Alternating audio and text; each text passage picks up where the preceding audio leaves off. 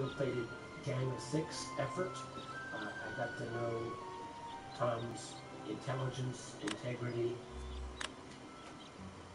irascible nature, is that the right word? Occasionally pain in the what, whatever. Um, but I, I share with you um, that he would be missed, and I would have joined joined you in that kind of tribute, but it, you saw how badly, anytime I've tried to go here and look, um, I'm, I'm probably doing better tribute I just saying.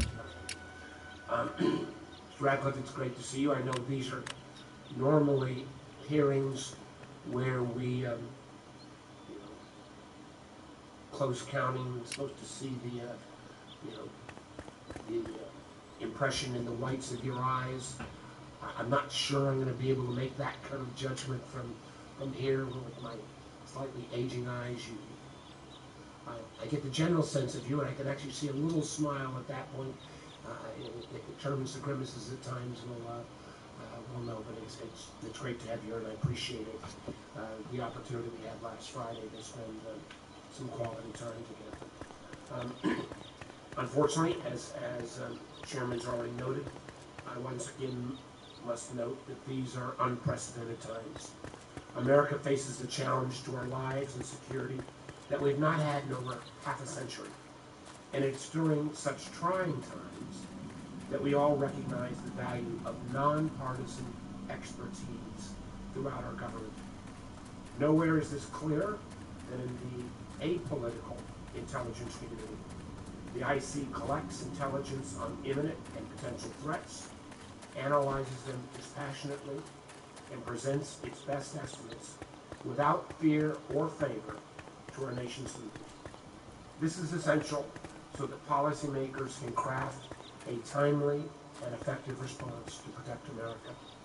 And nowhere is the need for competent, apolitical leadership clearer than in the position of the Director of National Intelligence, who stands at the head of the nation's 17 intelligence agencies. Unfortunately, what we've seen from the President ever since he came into office is an unrelenting and I believe undeserved attack upon our professional women and men of our intelligence agencies. This is not because our intelligence community is deserving of these attacks, nor are they at the heart of some quote-unquote deep state conspiracy to undermine our political leaders. No, I believe the President attacks our intelligence agencies for one simple reason, because unvarnished tr truth and unembellished analysis, are not welcome in this White House. What we've seen over the last year has been especially, especially dangerous. The systematic firing of anyone at the ODNI who has the temerity to speak truth to power. From DNI, Dan Coats, and Principal Deputy DNI Sue Gordon, the Acting DNI Admiral Joe McGuire, the Acting Director of National Counterterrorism Center, Russ Travers, to the Inspector General of the Intelligence Community, Michael Atkinson. These firings and forced departures from the leadership of the intelligence community have left the ODNI without a single Senate-confirmed leader at the helm. Instead, an acting DNI with no experience in intelligence, but with plenty of political loyalty to the president, has been appointed to oversee America's intelligence enterprise. As acting DNI, this individual promptly instituted a hiring freeze and a reorganization whose purpose has not been communicated to the intelligence committees. He also quickly fired senior leaders with decades of experience in the IC. Alarmingly, we have begun to hear reports that intelligence professionals have been inappropriately pressured to limit the information they share with Congress. And now, Mr. Ratcliffe, the President has nominated you to this critical position of national security and intelligence leadership. I have to say that while I'm willing to give you the benefit of the doubt during this hearing, I don't see what has changed since last summer when the President decided not to proceed with your nomination. over concerns about your inexperienced partisanship and past statements that seem to embellish you. This includes some particularly damaging remarks about whistleblowers, which has long been a bipartisan cause on this committee. I'll speak plainly. I still have some of the same doubts now as I had back in August. Some have suggested that your main qualification for confirmation for this post is that you are not Ambassador Grenell. But frankly, that's not enough. Before we put the Senate's stamp of approval and confirm a nominee to this critical position, senators must demand the qualities that the Senate specified when it passed the law creating the ODNI after 9/11 legislation, which my colleagues, like Senator Collins, have offered. We must expect and demand professionalism, a nonpartisan commitment to the truth, and a rock-solid dedication to defending those who defend us every day, the professional women and men of our nation's intelligence community. I hope that today you get a sense of your ability to adhere to that goal. I opportunity. Thank you very much, Mr. Chairman. I thank you, Vice Chairman. Um, Former Attorney General John Israel was planned, scheduled to be here to introduce Representative Ratcliffe. Given the current circumstances, he could not attend. He sent us his remarks, and Senator Cornyn has immediately agreed to represent uh, Attorney General Ashcroft today. Senator Cornyn, the floor is yours. Thank you, Mr. Chairman. Uh, It's always good to be with my colleagues on the Senate Select Committee on Intelligence. And today it's my pleasure to introduce John Ratcliffe, who's the nominee for Director of National Intelligence. Um, As the chairman said, we do have a letter from the former Attorney General, and it's rather lengthy. I'm not going to read all of it, but I will go to some excerpts, but I'd ask you to just that we may part of the record following. And the reason why I think it's so important for the committee and the Senate to hear from former Attorney General Ratcliffe, excuse me, former Attorney General Ashcroft, is because of his intimate knowledge of the professional qualifications of the nominee, as well as the personal qualifications, his intelligence and his integrity. Let me just start by reading an excerpt from Attorney Gen- General Ashcroft's letter. He said, Integrity is the indispensable imperative for intelligence, the best friend of national security. And national security is the singular portfolio most allergic to the infection and devaluation that results from inaccuracy and distortion. For high-quality decision-making, sound intelligence must never be contaminated by personal bias or political predisposition.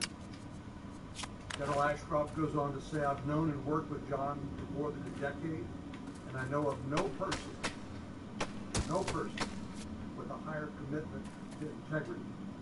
And I've seen him speak the unvarnished truth to those he works with and works for, whether senior government officials or corporate CEOs. He makes an important point, and he did in my conversation with him yesterday, in his uh, farm in Missouri. He makes the point that over the last 15 years, Congressman Ratcliffe has served in crucial roles as both a developer and consumer of intelligence, a role that I think speaks to his background and qualifications for this job. Finally, he said, John Ratcliffe is committed to forging an intelligence community that delivers in a coordinated manner the most insightful and accurate intelligence and counterintelligence possible. He will serve decision makers with wholesome, transparent intelligence that enables them to make decisions to defend the nation from threats and to keep our citizens safe and free. Mr. Chairman, I know that uh, coming to this nomination as a member of Congress, that uh, Congressman Ratcliffe, as any member of Congress might, uh, people wonder, does he really understand the difference between being in the adversarial atmosphere and uh, that is Congress, and that especially speaks to our oversight responsibilities.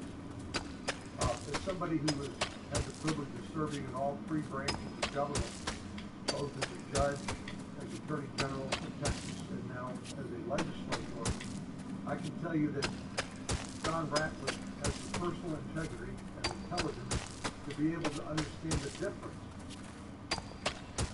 between being a legislator and being the director of national intelligence.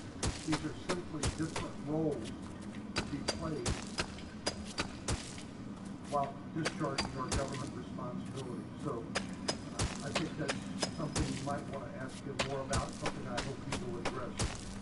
But I've known John personally for ten years, and I'm proud to support his nomination and to give him my strongest personal recommendation. The chairman has mentioned his experience on the House Intelligence and Judiciary Committee as well as the Ethics Committee. I do believe that as a former U.S. attorney, he does understand, and as a current member of the House Intelligence Committee, he does understand the vast threats our country is facing and the challenges that we face which lie ahead. We need to be able to count on a leader who operate free of personal and political motivation, serving only with security and safety of the American people in mind. And I believe John Ratcliffe is the person to do that job.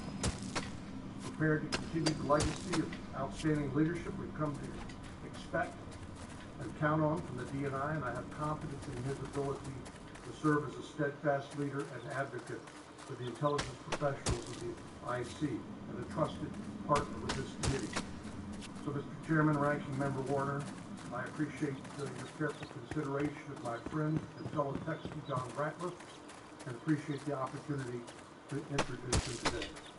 Thank you very much. Senator Cornyn, thank you for that introduction. With that, Congressman Ratcliffe, if you would rise and raise your right hand. You solemnly swear to give the committee the truth, the full truth, and nothing but the truth, so help you God. Please be seated. Before we move to your statement, I'll ask you five standard questions the committee poses to each nominee who appears before. They just require a simple yes or no answer. One, do you agree to appear before the committee here and in other venues when invited? Yes. If confirmed, do you agree to send officials from your office to appear before the committee and designated staff when invited? Yes. Do you agree to provide documents or any other materials requested by the committee in order for it to carry out its oversight and legislative responsibilities? Yes. Will you ensure that your office and staff provide such materials to the committee when requested? Yes. And five, do you agree to inform and fully brief the committee to the fullest extent possible? All members of this committee of the intelligence activities and covert action, rather than only the chair and the vice chair. Yes. I want to thank you very much. It's my intention to move to a committee vote on this nomination as soon as possible. Therefore, for planning purposes, any member who wishes to submit questions to the record after today's hearing, please do so quickly. We'll now proceed to your opening statement, after which I'll recognize members by seniority for five minutes. As discussed earlier, members will have the opportunity to ask follow-up questions in the blocks that are designated. So let me say for the purposes of, of members, we have thirty-minute blocks. There is time allotted in that block for additional questions. There is not time in that block for everybody to have five minutes of additional questions. And I will state for members as of the vice chairman and I have talked, at the end of thirty minutes, regardless of where we are in that block with those Congress, uh, with those senators, I will cut it off because we've got a, a dead stop for this room at twelve o'clock.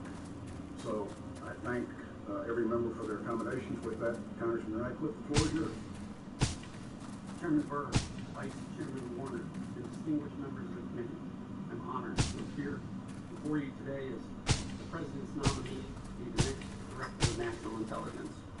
Before I begin, I'd like to acknowledge the efforts of the committee staff, my own staff, as well as many officers at the Office of the Director of National Intelligence who helped get us here today.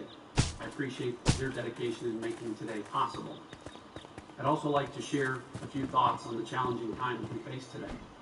The COVID-19 pandemic has cut short the lives of over 67,000 Americans. It has sickened over one million Americans, and it has impacted every one of us. My deepest sympathies are with those we've lost, and I salute the efforts of those on the front lines, including the dedicated intelligence community professionals reporting for duty and carrying out their mission. These are truly trying times, and your courage, honor, and sacrifice will not be forgotten. I'd like to begin by thanking President Trump for his incredible opportunity for me to serve our nation and for his confidence in me. I'd also like to thank former U.S. Attorney General John Ashcroft for his gracious and humbling statement. I am forever grateful for your faith in me. I also want to recognize and thank Senator Cornyn for his kind words and my fellow Texans for their support. It has been the privilege of my life represent the constituents of Texas's 4th Congressional District. Finally, and most importantly, there's no way I could be with you today without the encouragement and support of my family. I'd like to recognize and thank my amazing wife, Michelle, our truly wonderful daughters, Riley and Darby, my mom, Kathy, and my five brothers and sisters, Kitty, Bob, Sharon, Pam, and Larry. Watching from above, I'm sure, is my late dad, Robert Ratcliffe. My career in public service is a direct reflection of my family's selflessness, their sacrifice, their enduring love of country, and for me. I simply don't have the words to adequately express my gratitude. My journey here today has been a mixture of public service and private sector experience. I graduated college at age 20, law school at age 23, tried my first case at age 24. A decade later, I was managing partner of my own law firm, and by most measures, I was successful. But something was missing. As the son of two public school teachers, I was taught from an early age the virtues of public service and self-sacrifice. Reflecting back, I realized it was those values that pushed me to a higher calling, one of service to the American people. The catalyst for me came on September 11, 2001. When the first plane struck, I was sitting on the 35th floor of a high-rise office building in Dallas, Texas that looked a whole lot like the ones in New York that were under attack. I watched so many Americans give their lives that terrible day, and in the months that followed, I watched many more sacrifice so much to defend the United States. And it inspired me to take stock of all the gifts that I have been given and what I might contribute to the defense of this great nation. Within a few years, I changed careers altogether. I left that civil law practice behind to become a federal prosecutor in the United States Department of Justice. And during my four years in the U.S. Attorney's Office for the Eastern District of Texas, I served as Chief of Anti-Terrorism and National Security, First Assistant U.S. Attorney, and finally, U.S. Attorney. My daily responsibilities involve leading, managing, directing, and prosecuting national security cases and related matters, including domestic and international terrorism, drug and human trafficking, transnational crime, and illegal immigration, among others. Led and managed the district's joint terrorism task force activities and worked closely with Justice Department officials and FBI on terrorism prevention, the overriding priority for the Department of Justice. In these roles, I came to appreciate the value of coordinated and integrated interagency efforts and the importance of timely, accurate, and objective intelligence in keeping Americans safe. For the past six years, I've been fortunate to serve with you all here in Congress. I've continued to prioritize national security issues, seeking assignments on the House Intelligence, Judiciary, and Homeland Security Committees. Although serving the citizens of the 4th Congressional District of Texas has been the honor of a lifetime, I believe that my passion for service, combined with my experience, my abilities, and my judgment, make me the right person to now successfully lead the men and women of the intelligence community. If confirmed as DNI, my top priority will be to present the President, senior policymakers, and this committee with objective and timely intelligence to better inform decisions about the future and safety of our great nation. As the President's principal intelligence advisor, I would ensure that all intelligence is collected, analyzed, and reported without bias, prejudice, or political influence. I see the Director of National Intelligence as more than just a leader, a manager, an integrator. The DNI must at all times be an arrow catcher, a problem solver, an obstacle mover for the IC, addressing issues, resolving conflicts, and putting tools and resources in the right place at the right time, and always, always the DNI must be the voice to advocate for and defend the interests of the IC and its people. If confirmed as DNI, you have my commitment to deliver timely, accurate, and objective intelligence and to speak truth to power, be that with Congress or within the administration. Let me be very clear.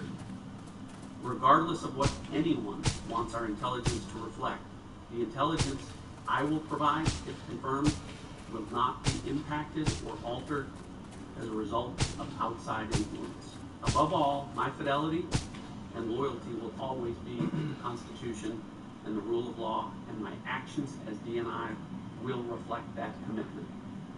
Many of you have asked me what I see as the greatest threats facing our nation. The reality is that the threat landscape today is diverse, dynamic, and geographically diffuse more so than ever before. I believe the immediate focus of the IC must be directed to the geopolitical and economic impact of the coronavirus pandemic, as well as its origins. The American people deserve answers, and if confirmed, I pledge that the IC will remain laser focused on providing them. We face enduring challenges on other fronts as well. These include China, from the race to 5G, preventing cyber espionage, Russia and its continued efforts to undermine our democracy by interfering in free and fair elections, Iran and its continued pursuit of nuclear capabilities, ballistic missiles, and sponsorship of terrorist groups, North Korea and its continued possession of nuclear weapons and delivery systems, and transnational issues like cybersecurity, safeguarding our supply chains, and of course, preventing terrorist attacks or a resurgence of ISIS. This list is by no means exhaustive. To address the full spectrum of threats and threat actors, the IC must work continuously to earn the trust of the President, the Congress, and the American people. At its core, the DNI position is about leadership. If confirmed, I hope to be a stabilizing force to build trust and break down barriers to information sharing as warranted in order to sharpen the analytic work of the intelligence community. For me, the ODNI remains the office best positioned to lead integration of the intelligence community. We can never underestimate the value of truly integrated intelligence operations or analysis or assume that agencies would do so on their own without strong leadership from above. That said, I believe every government agency must constantly review its operations to ensure it is setting the right priorities, achieving mission objectives, and spending taxpayer dollars effectively and efficiently. If confirmed, I will work with IC leaders to assess what is working well and where we need to make adjustments to make the community more effective, efficient, and resilient. In closing, to remain the world's premier intelligence enterprise, the IC must continue to recruit and retain the best, brightest, and most diverse workforce our nation has to offer. The men and women of the IC are dedicated civil servants who rarely, if ever, receive the full recognition of their sacrifice to country and dedication to the mission of keeping Americans safe, secure, and free. As DNI, there will be no greater champion of their hard work and dedication to this country than me. I'm honored by the opportunity to be here with you today, and I thank you for your consideration of my nomination during these difficult times. I look forward to answering your questions. Congressman, thank you for those remarks. Um, We'll go into the first block of time consumed by the chair, the vice chair, Senator Risch, Senator Feinstein, Senator Rubio. Um, Members will have up to five minutes. I'll try to bank some time. Congressman Ratcliffe, uh, several questions. When you're confirmed to be DNI, you'll be walking into an organization that's been led for quite some time by acting officials. It applies to the position for which you've been nominated, but also more recently to the Inspector General's office. Independence and ability to speak truth to power are critical in both offices. Can you speak to your views of the importance of the intelligence community's Inspector General and your expectations of what the office, uh, of that office as DNI? Senator, thank you for the question. Um, You made reference to acting officials. I have been an acting official for a period of time. I was acting U.S. attorney. So I have an appreciation for why Senate confirmed leadership does make a difference and is important, and I appreciate this committee um, considering me in that regard. I also appreciate the comments that you've made, as has uh, Vice Chairman Warner, about speaking truth to power. And I very much intend to do that if confirmed as DNI. With regard to the Inspector General position, I have a strong record of supporting and defending and working with Inspector Generals. For example, I have publicly defended um, Inspector General Michael Horowitz, even when some of my colleagues have criticized his work, and even when I have disagreed with some of his opinions. But I understand the role and the importance of Inspector Generals because there will always be misconduct, waste, fraud, and abuse um, when you have government. Um, I am very committed, if confirmed as DNI, to working with the Inspector General um, to make sure that the intelligence community has that type of process in place to ensure that the intelligence community is always acting in the best interest of the American people. Congressman, over the course of the last three years, this committee has issued four reports about Russia's meddling in our elections, covering Russia's intrusions into state election systems, their use of social media to attempt to influence the election, and most recently confirming the findings of the 2017 Intelligence Community Assessment. While being mindful of the fact that we're um, in an unclassified setting, what are your views on Russia's meddling in our elections? Chairman, my views are that Russia meddled in you know, or interfered with active measures in 2016.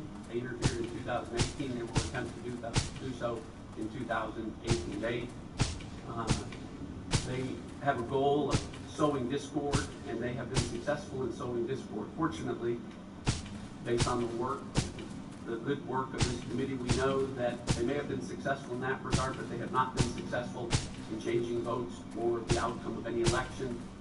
The intelligence community, as you know, plays a vital role in ensuring that we have safe, secure, and credible elections, and that every vote cast by every American is done so properly and counted properly.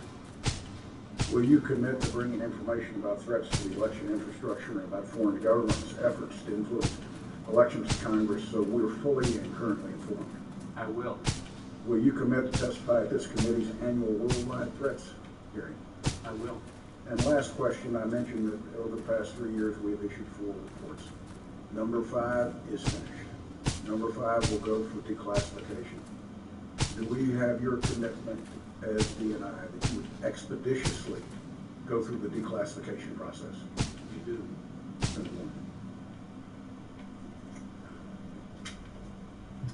Thank you, Mr. Chairman. You actually took some of my questions. My eyesight is good. Um, uh. Ratcliffe, again, good to see you, and I appreciate our time. Um, um, last Friday, I, I want to follow up on a couple of the chairman's questions first. You know, as we discussed, we are volume five, and so far, our first four volumes have all been unanimous, or I think maybe with the exception of one dissenting vote. You know, if we get this um, document to the ODNI, you know, we need your commitment, not only that we do it expeditiously, but as much as possible to get that volume five reviewed, redacted, and released, ideally before the August, um, the August recess. Now, I know you've not seen the report yet. All I would ask is aspirationally that you commit to that goal, because I think as we discussed, to have, have a document that could be potentially significant come out in the midst of a presidential campaign i- isn't good or fair on either side. So if I could clarify a little bit, recognizing that you've not seen the document, is a thousand pages, that you would try to get this uh, cleared prior to August. Vice Chairman, I will uh, again commit that I will work with you to get that uh, declassified as expeditiously as possible. Again, our goal is to get out before August. On, um, again, following up on the chairman's comments, um, and we, we talked about this in, in person, but I want, for the committee and for the public record, you've indicated that you do believe that Russia interfered. What this committee's judgment was, um, in volume four, but throughout all volumes, was that not only did Russia interfere, but during their interference in 2016, had a, they had a selected candidate they were for and a selected candidate they were against. For candidate Trump, against candidate Clinton. Um, Have you had a chance to review our, our documents and have you reached a similar conclusion? Uh, A conclusion that actually reinforces the unanimous conclusion of the intelligence community assessment or uh, can you comment on, on our volume four? Yeah, uh, Senator, um, I very much appreciate the bipartisan approach which the committee addressed that issue. I did have a chance to review volume four, um, which I know, um, uh, confirms the IC assessment. Um, I have no reason to dispute the committee's findings. I will say that I have no reason to dispute the committee, uh, that I serve on, the House Intelligence Committee's findings, which is a different perspective with regard to the one issue that you mentioned about a preference for a candidate. Um, I have, I was not on the committee at that time. I have not, I respect both committees, um, but I have not seen the underlying intelligence to tell me why there is a difference of opinion, uh, between the two committees. Um, But I, again, very much appreciate, volume four and the work that this committee put in. And again, I would reiterate, the most important takeaway from the findings, I think, of, of, uh, both committees is that if Russia continues to sow discord, uh, that they have not been successful in changing votes or the outcome of elections, we need to remain committed to making sure that that does not happen in the future. um, respectfully, to, to me, to make that kind of assessment and to decide how we're going to prevent Russia's further interference in 2020, if they have a clear preference for one candidate over another, that would just also alter how we counter those efforts. So uh, I really hope that you will spend the time and look at the underlying intelligence. If you find that you reach a conclusion that is different than the unanimous conclusion of the intelligence community or the unanimous conclusion of this, of the city here, I, I would expect a, a, a brief on that and, and pointing out how you found our conclusions or the IC's conclusions were inaccurate. You- to come back to us if you reach a different conclusion once you re- review that underlying intelligence. One of the things we also discussed, uh, an area of the, of the community that seems under assault with the acting ODNI, and that is the election security unit. Uh, There's obviously different parts of the IC, the NSA has a group, the IC has, uh, or the CIA has a group, but one of the most important is the group uh, that is uh, stood up, um, stood up by Director Coats, includes uh, intelligence professionals like um, Shelby Pierson. Um, They have briefed us on a regular basis. I would like your commitment that since we are literally less than six months away from this year's presidential elections, uh, that you will not take any efforts to dismantle the current leadership of the election security unit or the current capabilities of the election security unit um, this close to the 2020 election. Senator, I, I have no intention of making changes in that regard. and that that unit, should they have data that is relevant and appropriate uh, for this committee's responsibility, that that unit will be able to continue on a regular basis to brief this committee. Senator, I, I want to make sure that I'm clear throughout the day that if confirmed his DNI and I look at the global threat landscape, I, I mentioned the global pandemic and, and the IC's role with respect to that. But the other immediate concern is safe secure, credible elections, and I will do everything to make it my highest priority to confirm, to do everything possible that we have those safe, secure, credible elections in 2020. But it's important that, again, that that group who has briefed this committee on a regular basis continues to have that ability to brief. Uh, And again, echoing what the chairman has said, know whether it's a clock. You, you, uh, I, Oh, let me just, hey, did I hit my five minutes? Uh, Let me, last question then. Um, Should you be confirmed, you know, we are already past due date on um, when we would have a, uh, the traditional worldwide threat hearing. Uh, You've committed to the chairman um, that you would, um, you would hold that hearing. Uh, My hope would be that you- that commitment will take place within 60 days of of you being confirmed. Senator, I'll make a commitment to, um, I look forward to confirm true hearing as uh, DNI in a worldwide threats hearing. Um, I don't want to make a commitment in terms of time that I'm, don't know what I'm promising exactly. What I will make the commitment is that if confirmed, um, I agree that it's important and I will um, work to make that happen as expeditiously as possible. Thank you, thank you, Mr. Chairman. Uh, Thank you, Mr. Chairman. Uh, Congressman Ratcliffe has been uh, incredibly uh, generous with his time with me. I've had an opportunity to uh, spend some time with him.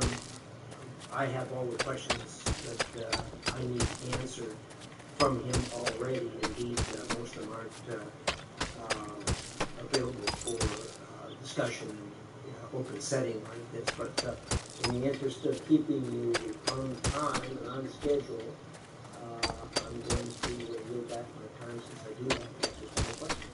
So thank you. I, I thank you, Senator Risch, with that, uh, Senator Feinstein. Thanks very much, uh, Mr. Chairman, uh, Congressman, welcome. Um, I'd like to ask you a couple of questions about whistleblowers, if I might. Um, This committee has adhered to a tradition of protecting whistleblowers. However, it's my understanding that your participation in President Trump's campaign to punish and discredit one IC whistleblower suggests you do not align yourself with this bipartisan approach. Let me give you an example. During a December 11 hearing of the House Committee on the Judiciary, you claimed without any evidence that the whistleblower got caught making a false statement. On December 12th, you tweeted that the whistleblower didn't tell the truth, both verbally and in writing. You also attacked HIP- HPSCI staff for providing guidance to potential whistleblowers on how to lawfully make a disclosure. Here's the question. If you are confirmed, do you believe that your past remarks concerning the Ukraine whistleblower will discourage IC whistleblowers from exercising their rights, consistent with the law, to make protected disclosures? Senator, thanks for the question. Um, uh, I want to make it very clear, um, it's confirmed as DNI, um, every whistleblower, past, present, and future, will enjoy every protection under the law. Um, I don't want to relitigate old uh, issues of, of, what happened during uh, uh, the impeachment inquiry. My issue was not with uh, the whistleblower. My issue was with what I perceived as a, a lack of due process in the House process. Um, there, again, I don't want to relitigate the issue, so I'll leave it at that. But every whistleblower can expect full protection under the law. Whistleblowers are so important. A whistleblower in uh, doctor in China is one of the reasons we got um, an earlier warning. So uh, I'll make that commitment to you, Senator. Thank you very much, I appreciate that. Um, On the evening of April 3rd, President Trump announced that he was firing Mr. Atkinson because he had sought to transmit to Congress a credible whistleblower complaint of urgent concern, one that was required by law to be transmitted to Congress. Um, you share the belief of members of this committee and the Senate that Mr. Atkinson was improperly fired, despite the fact, as acting director Maguire said, he did everything by the book and followed the law. Well, Senator, I appreciate the um, question, and I think before you entered the room, I, I talked about my history and strong support um, of working with Inspector Generals. I talked about Inspector General Horowitz, who was someone I went to when I thought there was a problem with the misuse of intelligence authorities. um, and, um, and very much appreciated his approach and work and some of the concerns that I raised, um, presented in, were presented in his findings and his report. With respect to, um, Inspector General Atkinson and the situation that you described, I don't have enough information to answer your question, I can, if I can explain why. Um, I will tell you that my dealings with Inspector General Atkinson, um, I had no issues. Um, I think he did what he thought was right. I, I think he did think that he was following the law. The flip side to that is that, um, the legal opinion within the ODNI from the General Counsel and from the Department of Justice um, Office of Legal Counsel, uh, my reading of it is that uh, their determination was may have exceeded his authority because um, uh, the investigation involved issues that uh, were not intelligence activities or intelligence community employees. That's a legal question that I, I don't know the answer to. Um, again, I very much want to reiterate that um, if confirmed, how important inspector generals are uh, in government and my strong uh, history of working with them. And I understand, uh, although he's in an acting capacity, that Inspector General um, Tom Monheim is uh, in that role. I don't know him, but he's a 30-year veteran, very well respected. So I hope to have the opportunity to work with him. Thank you, I appreciate that answer. If concerned, do you commit to directing all IC agencies to cooperate fully with congressional oversight requests regarding COVID-19 and to promptly produce the full membership and staff of the Congressional Intelligence Committees, all intelligence requested by Congress regarding COVID-19? Uh, Senator, thanks for the question. And that's meant to be broad. It- it is, and I- and I appreciate uh, the question.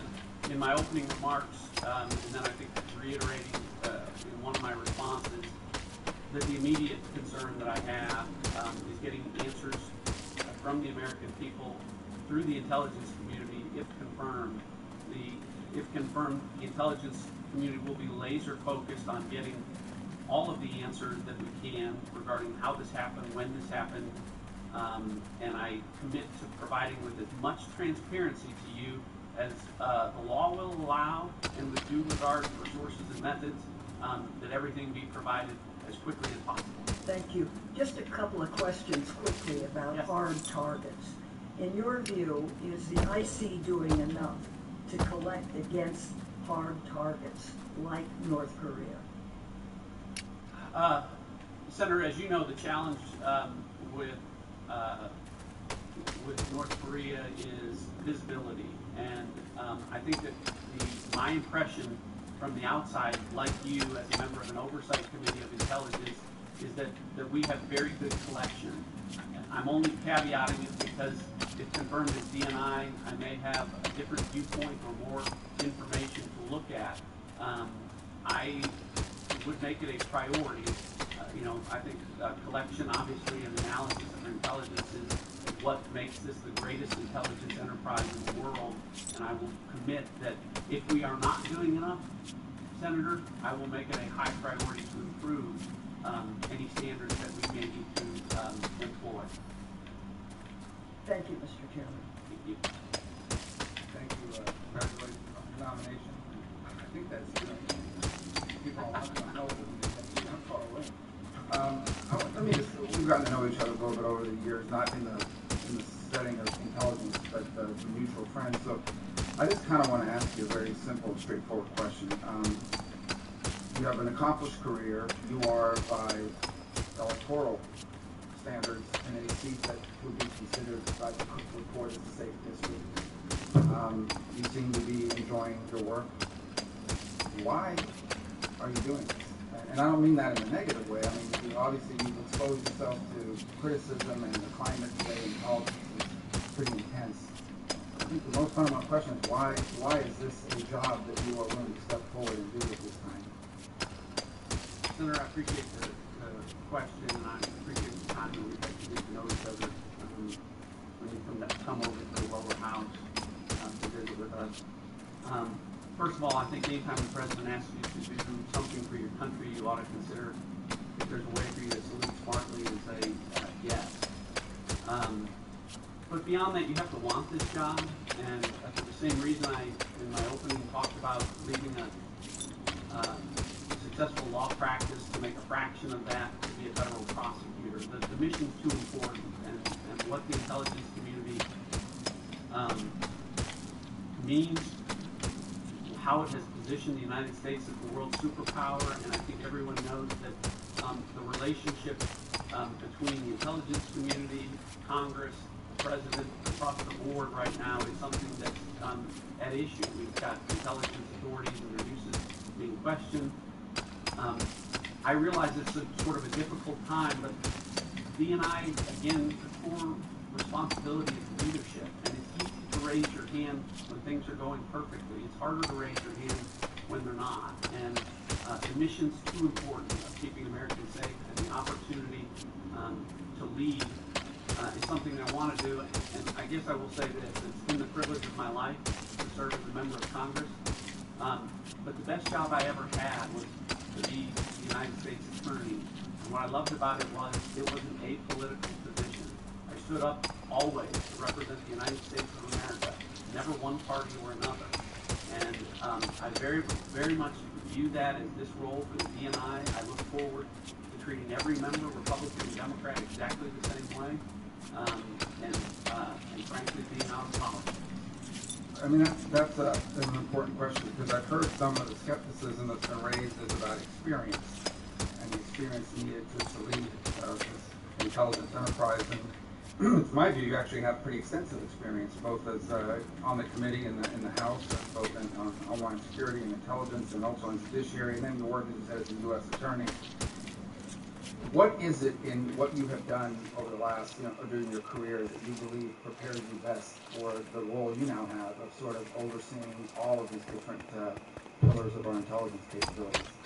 Well, I think it was mentioned earlier, I've now seen intelligence um, from three different vantage points, as, a, as an end user and a, and a developer, um, as a consumer of intelligence, um, and as an overseer of intelligence. And um, as far as experience, um, I started handling national security issues back in 2005, and um, and that included intelligence authorities. My first exposure with FISA was 2005, and in trying to respond to this committee, we found that uh, in at least one in, in, instance, the authorities that I uh, used uh, remain, or the, uh, the matters that I worked on remain classified. So from an experience standpoint, um, as far back as 2005, I've been um, using those authorities. But I think the, the role of U.S. Attorney in particular, and, and, um, uh, and my time as Chief of Anti-Terrorism for four years, uh, is particularly well suited and ana- analogous to the DNI.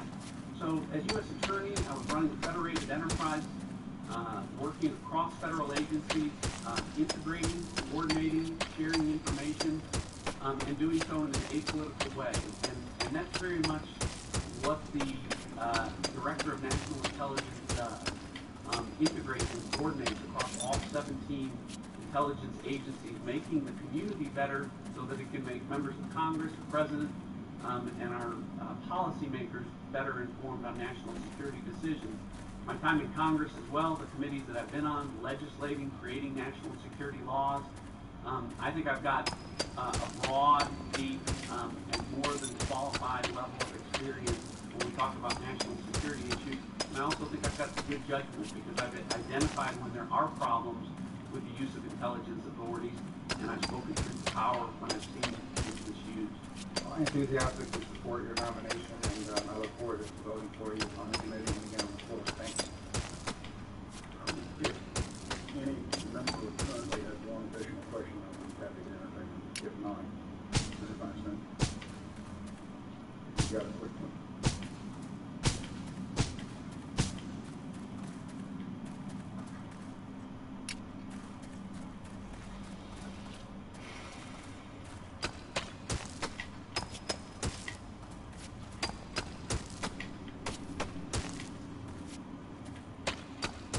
If I could ask one, one question, it's something that I have followed, tried to cure I've been very concerned by the growth of contractors over the last twenty-plus years in the agencies. And, um, it- when I was chairman of the committee, we made a big push to ensure that all inherently government functions of the IC were performed by government employees and not contractors. My understanding that that effort continues today, and we made substantial progress over the two decades in this. What is your view on the appropriate use of contractors in the um, intelligence community? Uh, Senator, I'm, not saying this because, um, if you're considering me for, uh, the position that as a nominee, but I agree with every word you just said with regard to contractor use and how it should be limited and where government employees should be doing government functions. I know there's always, um, uh, a, a look in terms of, uh, uh, ratios and, and percentages. I'm not a one-size-fits-all person and confirmed as DNI. I'll look at where things stand right now, but the concern that you have, the sentiment that you express, um, let me just, uh, reiterate that I agree with you completely and look forward to working with you on this issue if confirmed. Thank you, thank you, Mr. Uh, Thank you, Senator Fenton. And with that, the uh, first block of time has expired. The chair would move to the second block of time and go somewhat out of order because uh, Senator Wyden's not here. I will turn to Senator Collins for a question. Thank you, Mr. Chairman. Congressman, I appreciated the opportunity to talk with you last week as one of the authors, along with Senator, former Senator Joe Lieberman, of the 2004 law that created the Director of National Intelligence position. I have a special interest in making sure that the leader of the intelligence community fulfills what we envision. In that regard, I appreciate the opportunity to review your background with you in depth to make sure uh, that you met the statutory standard of having extensive national security expertise. So today, I want to turn to a different issue. As some members have already said today, the ability to speak truth to power is essential to serving as a successful DNI. Would you communicate the intelligence community's analytic views to the president, even if you knew that he would strongly disagree with them? Would you be willing to communicate the IC's analytic conclusions to the president, even if you believe it would place your job in jeopardy? When, assuming your confirmation, when you participate in the next open worldwide threats hearing, and you are asked to provide an unclassified IC assessment that you know that the president vehemently disagrees with, what would you do? Senator, whether you're talking about the president, whether you're talking about um, Nancy Pelosi, Mitch McConnell, um, anyone's views on what they want the intelligence to be will never impact the intelligence that I deliver. Never. Thank you for that strong response. I'm nevertheless going to ask you one more that has to do with the internal operations of the intelligence community.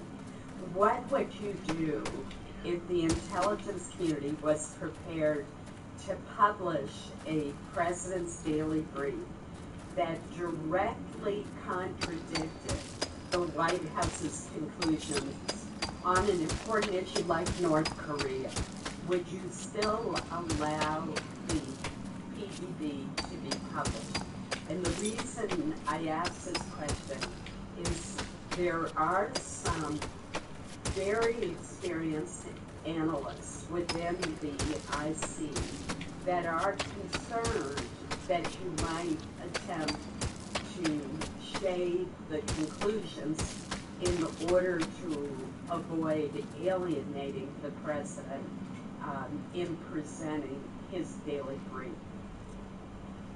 Senator, I, I, uh, I think before you were in the room, I, I reiterated, um, multiple times that, um, I won't shake intelligence for anyone.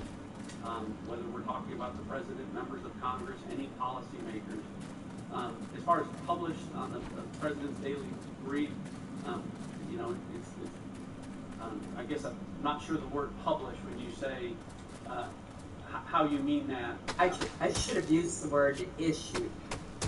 So, absolutely, um, I, I just want to make sure, because the president's daily brief is the, is the president's daily brief. Right. And, um, uh, uh, but, uh, to that, to the larger questions, um, again, just if I can reiterate as clearly as possible, um, if confirmed as DNI, one of the things that I've made clear to everyone, um, uh, is that I will deliver the unvarnished truth. It won't be shaded for anyone. What anyone wants the intelligence to reflect won't impact the intelligence that I deliver.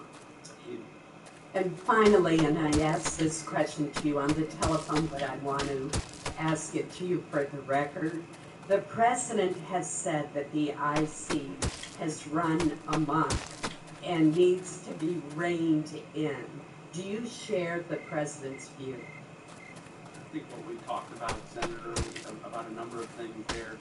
Um, and, and I'm, I'm sure gonna get a lot of questions about what the president says or what the president thinks.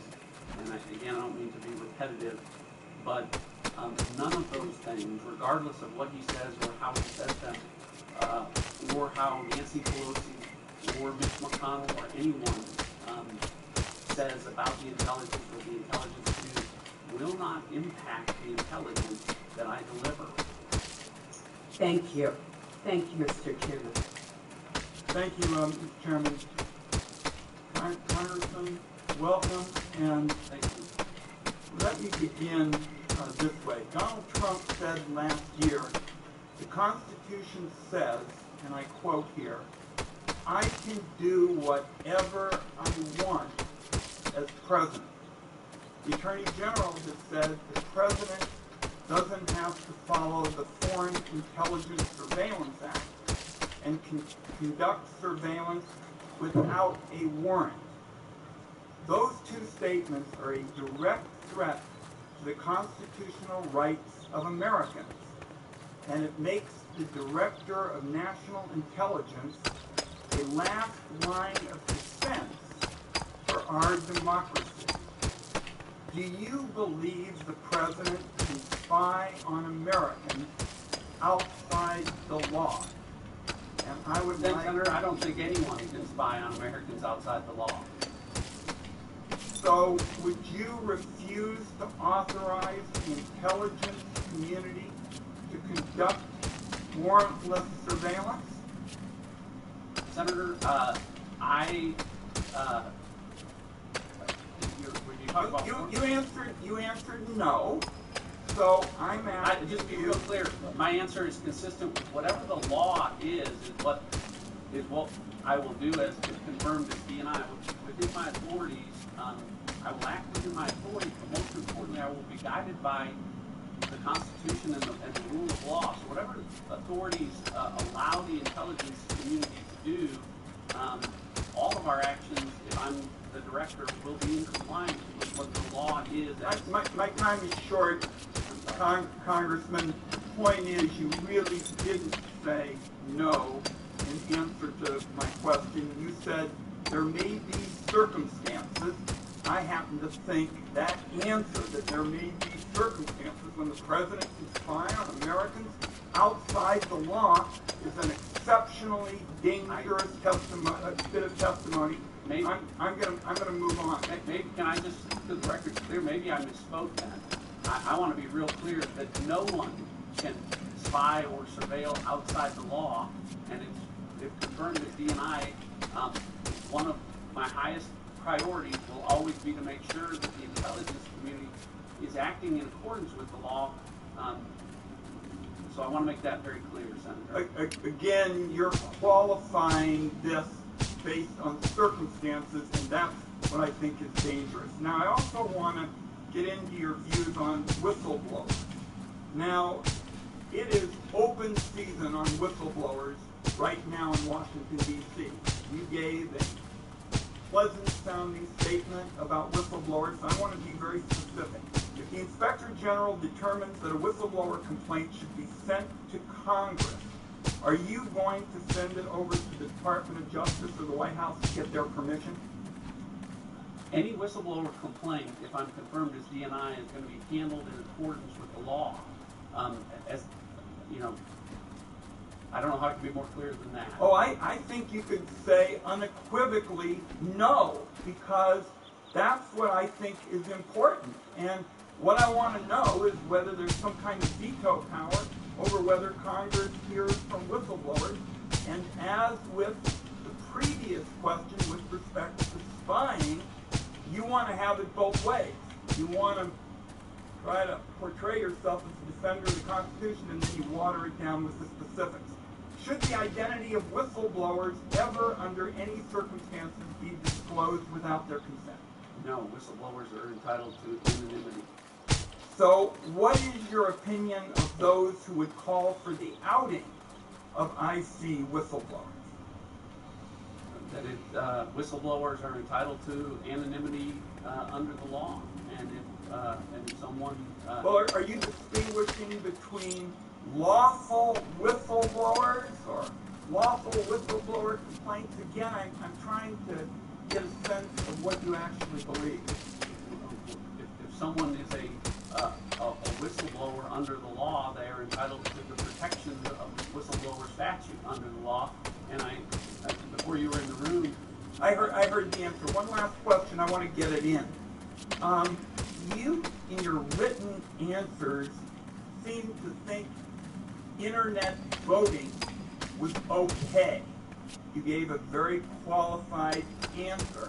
I happen to think it's the equivalent of putting our ballots on the streets of Moscow. So, could you tell me why you think internet voting is okay given all the threats that we have seen to our democracy? I don't recall the response or, or how I uh, how I responded, Senator, but um, it seems to me that that is a, a policy issue that if confirmed as DNI, um, my- I would not be in the role of making policy. It wouldn't matter. Whatever the law is regarding We, uh, we expect you to be a leader on election security. And if you support the kind of snake oil salesmen we've got in this country that are selling some of these online voting op- operations, you are going to put at risk our special system of government. I think my time is up, Mr. Chairman. Thank you. thank you, Senator. Welcome, Congressman. Uh, In your statement for the record, you wrote that, quote, "The president and I have a good rapport." Um, So if confirmed as DNI, um, you said you have my commitment to deliver accurate and objective intelligence and speak truth to power. Dan Coats, Sue Gordon, Joe Maguire, other dedicated IC professionals had a good rapport president as well until they didn't. Can you give me some specific examples of when you've had to speak truth to power, in particular if it's involved the president of the United States? Sure. Um, uh, Senator, I appreciate the question. Um, the reason I said a good rapport is I I think trust is important. I think it's one of the things that uh, is important. It can strengthen the relationship between um, all parties, um, intelligence community, Congress, um, the president. Um, one of the reasons that I uh, indicated before you were in the room that, that I wanted this job was because it is apolitical, and I had held apolitical positions before. Um, as U.S. Attorney, uh, that is an apolitical role, and um, in those instances, I frequently had to speak power from the standpoint of uh, there were many occasions where people wanted me to exercise my discretion in a way that considered something other than um, what the law was. Um, and Can you, I never can you give a, a, a particular example? Um, uh, oh, so-and-so, uh, is, uh, you know, uh, I want to give examples that would give away a specific case, but if someone was, for instance, a good Republican or a good Democrat, um, and held a position and, and, and maybe, uh, deserved some special consideration, those kinds of things.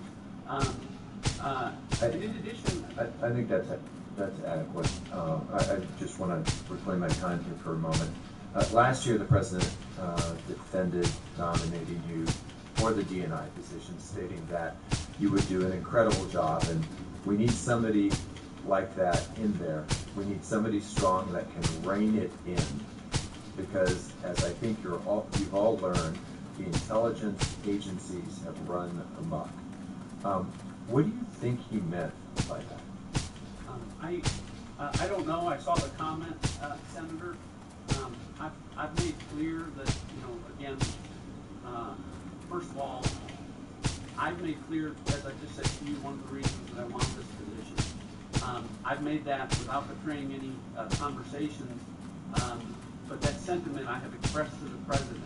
And, um, and he understands that, um, that I'm looking forward to this position because it's uh, apolitical and that the intelligence that I will deliver is unvarnished or Do you, do you think that, that the intelligence community or even a single agency is run amok? I have never said that. Um, President Trump has repeatedly, and without any basis in my view, accused the hardworking men and women of the IC of working to undermine his administration. Um, do you think, do you believe that there's a uh, quote-unquote deep state in the IC? I don't know what that means. Uh, Senator Collins and I, I think, talked about that in, in our call. I don't, I don't even know, I don't know what that is.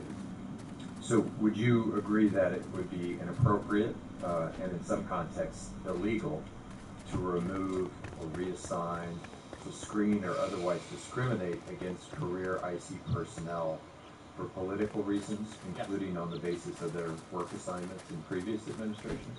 Yes. Thank you. Uh, The president has um, publicly stated that he expects loyalty from his appointees, and he publicly withdrew your nomination, appointed another individual, uh, but then formally resubmitted your nomination. That sort of turn of events just raises some unique questions. During your conversations with the president regarding this position, what priorities did he communicate to you that he expected you to pursue uh, on his behalf? And did the word loyalty ever come up? Um, Senator, a couple, couple of points there. I want to be real clear. Um, my loyalty is to the Constitution and the rule of law, and I have made that very clear to everyone, including the president. Um, So you did discuss loyalty? Our, no, I, I've made clear that um, if I'm uh, in a position, my loyalty is always going to be to the Constitution and rule of law. So you made that proactively clear, you weren't asked, It- Yeah, I made that proactively clear. Um, and you were not asked. and I was not. I absolutely was not asked. Um, and um, the priorities, one of the priorities, um, again, I don't want to get into um, specific conversations, but the, the sentiment is keeping politics out of the intelligence community. It's one of my priorities. Um, and I, and one thing to, to, I guess, because it's been reported, um, I withdrew from consideration. Um, I, I wasn't withdrawn, and, um, and so I just wanted the record, uh, clear with respect to that.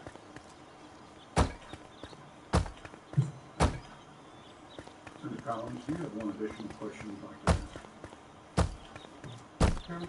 Senator Webb, one additional question. Thank, thank you, uh, Mr. Chairman. Um, Congressman, the Congress passed a law requiring an unclassified report on who was responsible for the murder of Jamal Khashoggi. This is a law today, not a bill, it is a law. The DNI, however, has outright refused to comply with this law denying the public a single shred of information on this topic. Do you agree that the government is bound by this law and is obligated to provide this report, which stipulates in public, in public, who killed Jamal Khashoggi and under what circumstances? Senator, um, I share your concern. I think I've seen the same information that you have, and I, I think you're referring to the provisions in the NDAA. Um, and if confirmed as DNI, uh, again, uh, I will ensure that, uh, uh, that the law is complied with. I uh, realize that the information, I think in the report, if we're talking about the same thing, is um, uh, a request for unclassified information. Um, so if confirmed, I want to look myself at the information to make sure that that information has been classified properly. But that's not the question. This is a law. This is a law, Congressman, and consistently in every one of the areas that I asked you about, with respect to spying, with respect to whistleblowers, now with respect to the law, these are pretty much straightforward yes or no questions. And now you've said you're going to look at what is classified with respect to the late Mr. Khashoggi. We passed a law that resolved it. It is supposed to be made available now. So I'll, I'll, I'll, I'll look forward to your adding to the record uh, on it, but I, I will tell you, you have certainly been brief with respect to coming to this hearing. But on issue after issue, I've asked pretty straightforward questions, and what I have gotten is a kind of let us sort of circle the subject and not answer it. Thank you, Mr. Chairman. Senator Adams, you have an additional question? Just one. Um, As you know, Congress has not authorized organizational changes at ODNI. Uh, We have not appropriated funds for that purpose, but Acting Director Grenell uh, has been reorganizing ODNI. If confirmed, would you halt that reorganization and would you seek uh, authorization, authorization from Congress to reorganize if you found the need to do so? Um, Senator, thanks for the question. If I can just first comment on uh, Senator Wyden's one, I was hoping to make the point that uh, I- I'm certainly not trying to be um, uh, evasive, but the the position I'm being considered for is the President's principal intelligence advisor, not, not his legal advisor. And there is, there is legal counsel that, that I would go to if I were confirmed as DNI. But um, uh, uh, Senator, I, I appreciate the question about um, organizational changes. Um, uh, as you know, I, I, I have um, uh, I'm not so presumptuous as to, to, to know that I'm going to be confirmed, so I haven't uh, considered or uh, talked about any sort of organizational changes. Uh, I want to make clear that it's been, that, that I expect to have unfettered discretion to make um, all personnel decisions uh, if confirmed as DNI, and I'll make them in the best interest of the IC to make the IC better. Um, and I will certainly, as with everything, uh, work with this committee to keep it fully and currently informed. Um, I, I, I want everyone to sort of remember that um, I'm being considered for this position, but I'm one of you right now as a member of an oversight committee, and um, uh, America functions better when its elected representatives are fully informed by um, the intelligence community, and I intend to do that. With that, going to bring to a close um, the block, the second block of members' questions, and we'll move to the third block. Anybody who's asked questions uh, is excused if they'd like to leave. Let me remind members that when we conclude with this at 12 o'clock, we will reconvene in closed session at 2 o'clock in the Capitol uh, Senate Security uh, Building, and we will again be operating with um, blocks of time. And there will be a conference room there for anybody that would like to sit, read intelligence products, listen to uh, what's going on in the closed hearing, and then come in for their, their question period. Uh, With that, uh, I recognize Senator Blunt. Uh, thank you, Chairman. Congressman Ratcliffe, it's, good to have you here. This, job has gone vacant for too long. It's a critically important job. I'm glad you've been nominated. I've read with great interest, uh, the, um, letter in uh, the record that was given to us from uh, former Attorney General Ashcroft. He's been a good friend of mine for a long time. I trust his judgment. I know you worked with him as a U.S. attorney and also in a law firm that was formed after you both left the Justice Department. And uh, his view of you, which he shared with me personally as well as in this letter, is significant. Uh, We've had a chance to visit about uh, your work on the House Intelligence Committee, and I particularly appreciated your last comment about the importance of being fully open and an oversight committee like this one being uh, fully informed. I, I would say that when we stood up this structure after 9/11, uh, I, I certainly anticipated a much smaller coordinating uh, opportunity rather than the bureaucratic size that we see today. I, I, I hope when you have a chance to look at this, that you'll look carefully at whether or not the structure as it's grown has really served the principal purpose of coordinating information, or in some way it may have created yet one more stovepipe of information. I'd like you to comment on your views, maybe as a House Intel member, of uh, just the size of DNI itself, and if that size is one you think is too big, too small, or just right. Senator, thank you for the, um, for the uh, remarks and um, association with uh, former Gen- Attorney General John Ashcroft, the great American. Um, and, um, but I, like you, um, come into this position and confirm with some preconceived impressions based on um, discussions I've had on the Oversight Committee. And as Senator Collins leaves the room, um, I want to make sure, uh, you know, one of the goals of the, of the DNI, uh, if confirmed, is to make sure that the ODNI and the DNI position are working exactly like Senator Collins and those who stood it up intended it. And so I had a chance to visit with her about it. Um, like you, I come in with the perspective that um, you have conversations that maybe indicate that there is too much bureaucracy um, and there's too much redundancy. Um, some redundancy is good, but if there's 17 agencies, they don't need to be doing the same thing 17 times or purchasing the same thing. And so um, it'll be one of my immediate priorities um, to assess how um, the ODNI functioning. Uh, again, I, the goal of the ODNI is to make the IC better so that the IC can make you better, the investment better, and policymakers better. And so I do think that um, uh, I want it to be as efficient as possible, um, but I'll be thoughtful and talk with the heads of the intelligence uh, agencies and elements to find out where they think that some of these things may just be unnecessary redundancies um, address those. You know, I think another question to ask, and you don't have to comment on this, but for you to ask is, is this, this agency has grown, have we let the other agencies not have the attention or the staff they needed?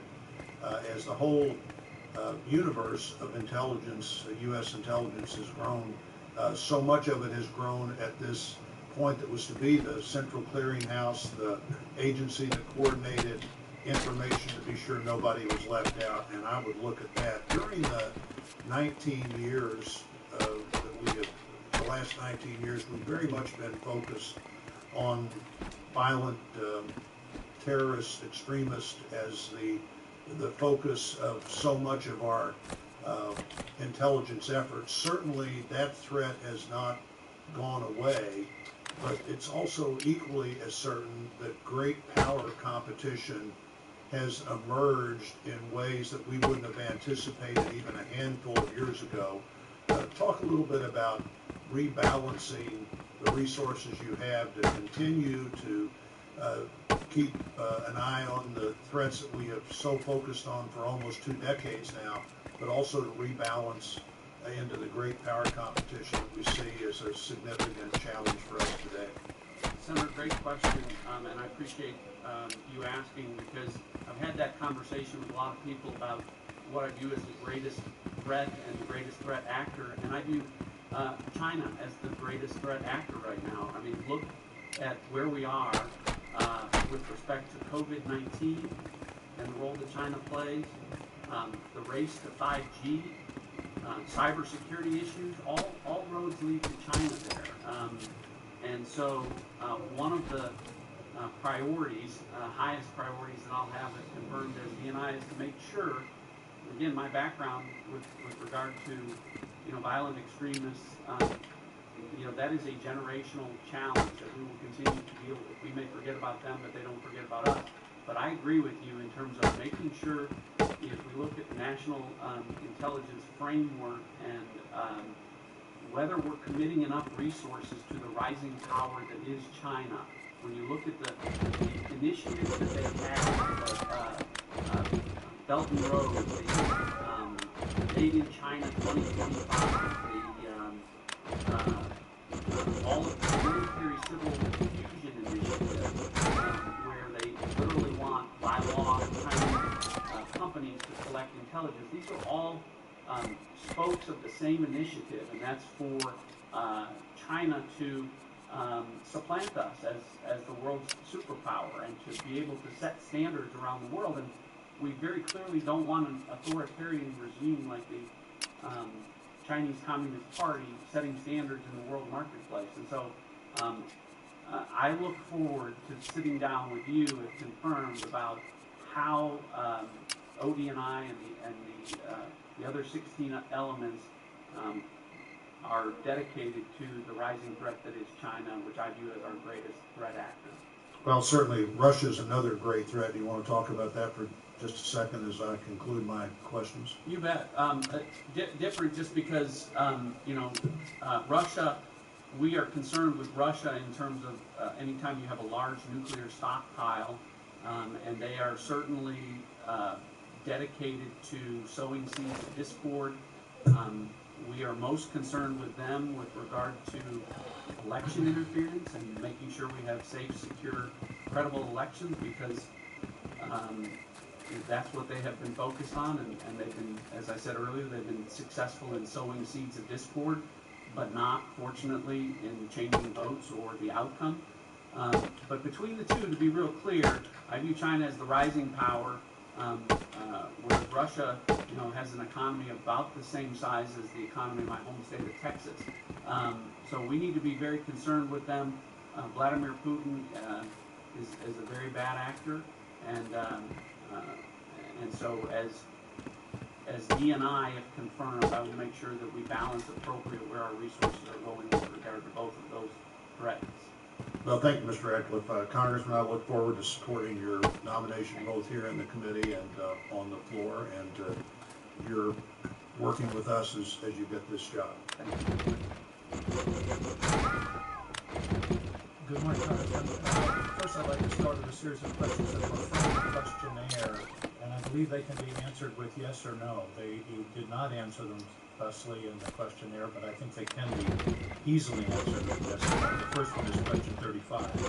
Would you ever ask, encourage, or support an intelligence professional in adjusting his or her assessment to avoid criticism from the White House or political appointees? No. Would you ever change or remove content in an intelligence assessment for political reasons or at the behest of a political No. Uh, Question thirty-nine, would you consider an individual's personal political preferences to include loyalty to the president in making a decision to hire, fire, or promote him? And, uh, question thirty-nine, uh, B, do you commit to exclusively consider professional qualifications in IC personnel decisions without consideration of partisan or political factors? Yes. uh, C of thirty-nine, if you were to receive credible evidence as DNI, the individual was undermining IC objectivity and furthering a political agenda, would you immediately remove that individual? Yes. And D, will you or any of your staff impose a political litmus test for IC employees? No. Finally, if confirmed, would you reassure your workforce that loyalty tests are not allowed with the IC?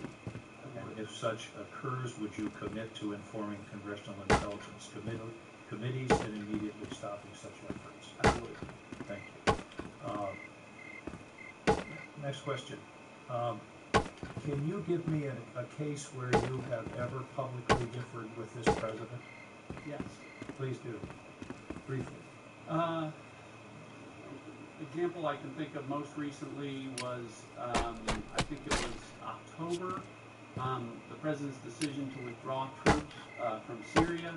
There was uh, a resolution uh, considered um, uh, regarding that issue uh, that I supported, that I think was referred to by some as a rebuke of the president.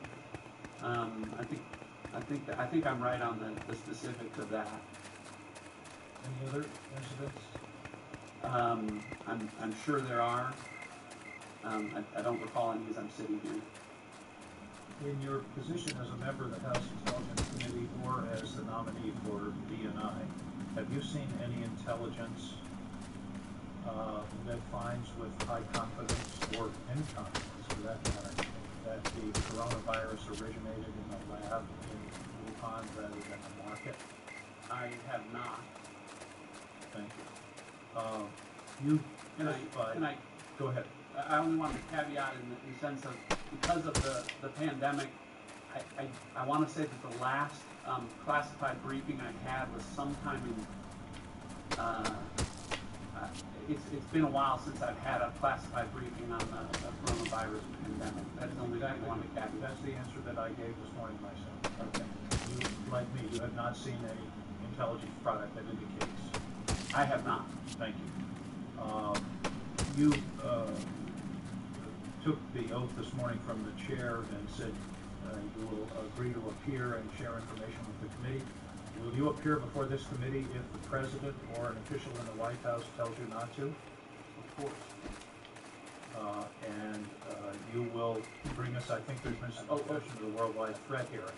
You will, So, uh, when I, I- and I, again, not caveat, we say, um, you gave the right answer. I- If I were you, I wouldn't qualify. and I'll just leave it alone. But, but the point was, I want to make sure we were talking about to appear in connection with the worldwide threat here. No, I'm talking about just generally, if the- this committee requests your attendance to testify and the White House says to do not go, will you honor the oath you took this morning? I will, I will. This I want to make sure I understood the question properly.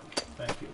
Um, The president has stated that he feels that so-called enhanced interrogation such as waterboarding has value and produces valuable results.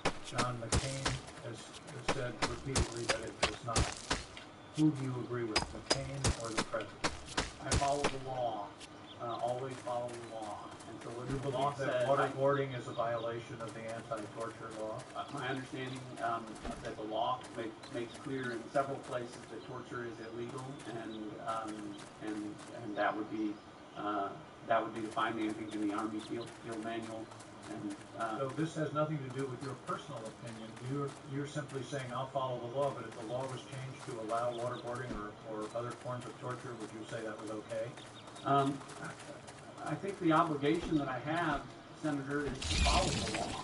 Um, uh, the Constitution and law uh, of the country is the oath that I take um, in any role, as DNI, as a member of Congress. I mean, I, I don't want to get into policy decisions about which the DNI should not be involved in. I'm, I'm a policymaker now, but you're considering me for a role where I would not be making policy or um, I would, I would follow the law as legislators um, uh, create laws or as the Supreme Court interprets those laws. Thank you. One final question. Uh, In your, if, if you were running for reelection and your campaign manager shared polling data which included crosstabs and detailed information about where your campaign stood with a, with an agent of a foreign government, would you believe that was okay? No. Thank you. Thank you, Mr. Chairman. Congressman Ratcliffe, congratulations on your nomination. Let me follow up on Senator King's questioning. He asked if you'd seen any intelligence that the coronavirus um, originated in one of the two labs in Wuhan, and you said no. Have you seen any intelligence that supports the Chinese Communist Party's claim that it originated in a seafood market in Wuhan?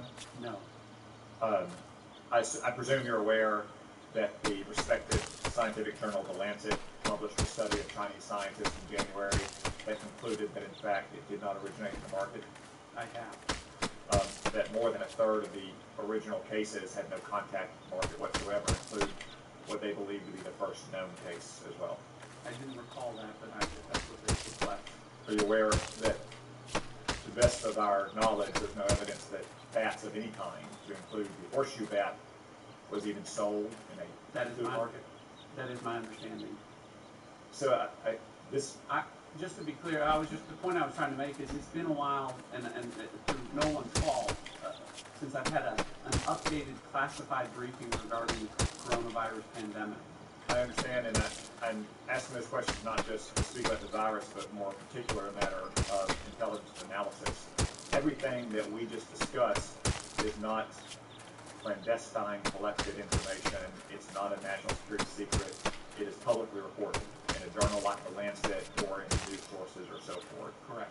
Um, much of what we know about the virus is the result of publicly reported information or social media evidence from Wuhan in the early days and so forth. Um, how critical is the role of that kind of unclassified public information in the analysis that our intelligence committee should be conducting?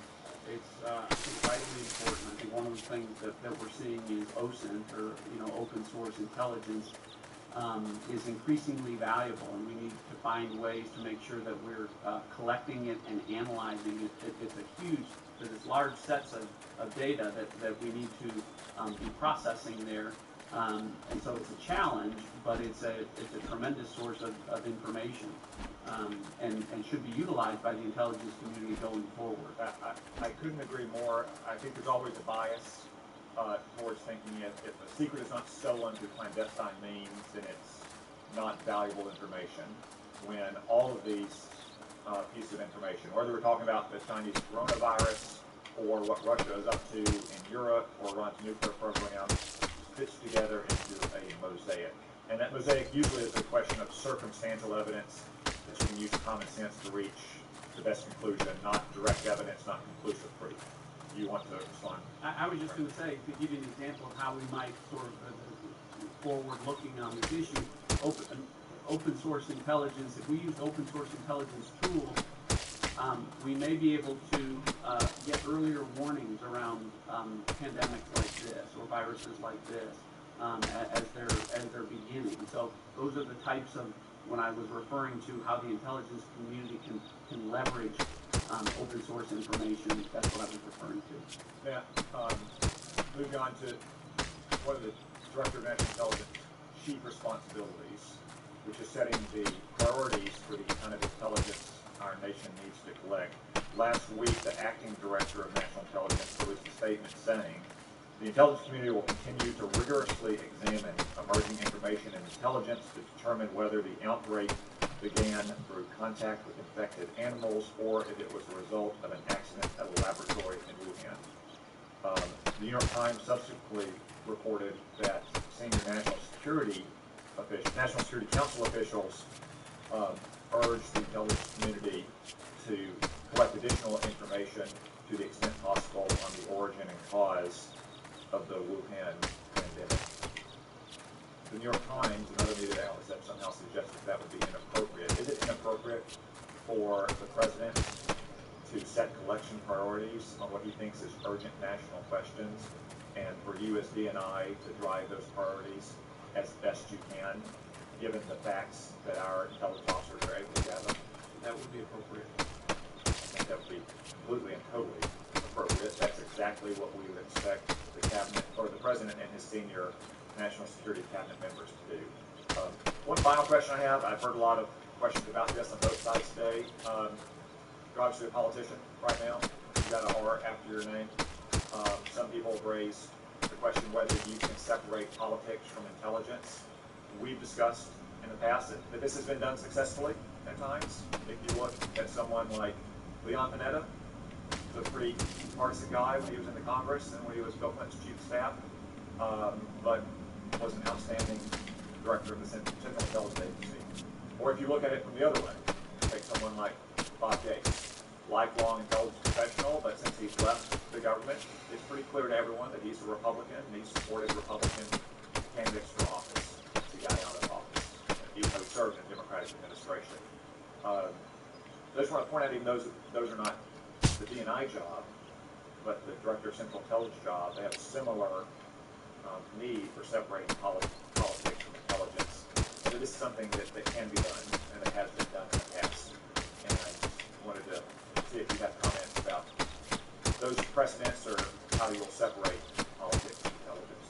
Well, I uh, appreciate uh, the question, Senator, and um, earlier I talked about the fact that, that I um, very much uh, love representing the people uh, here in Congress, but but I held an apolitical job before as U.S. Attorney, one where um, I represented the United States and neither party, um, and kept uh, both parties out of everything that I did.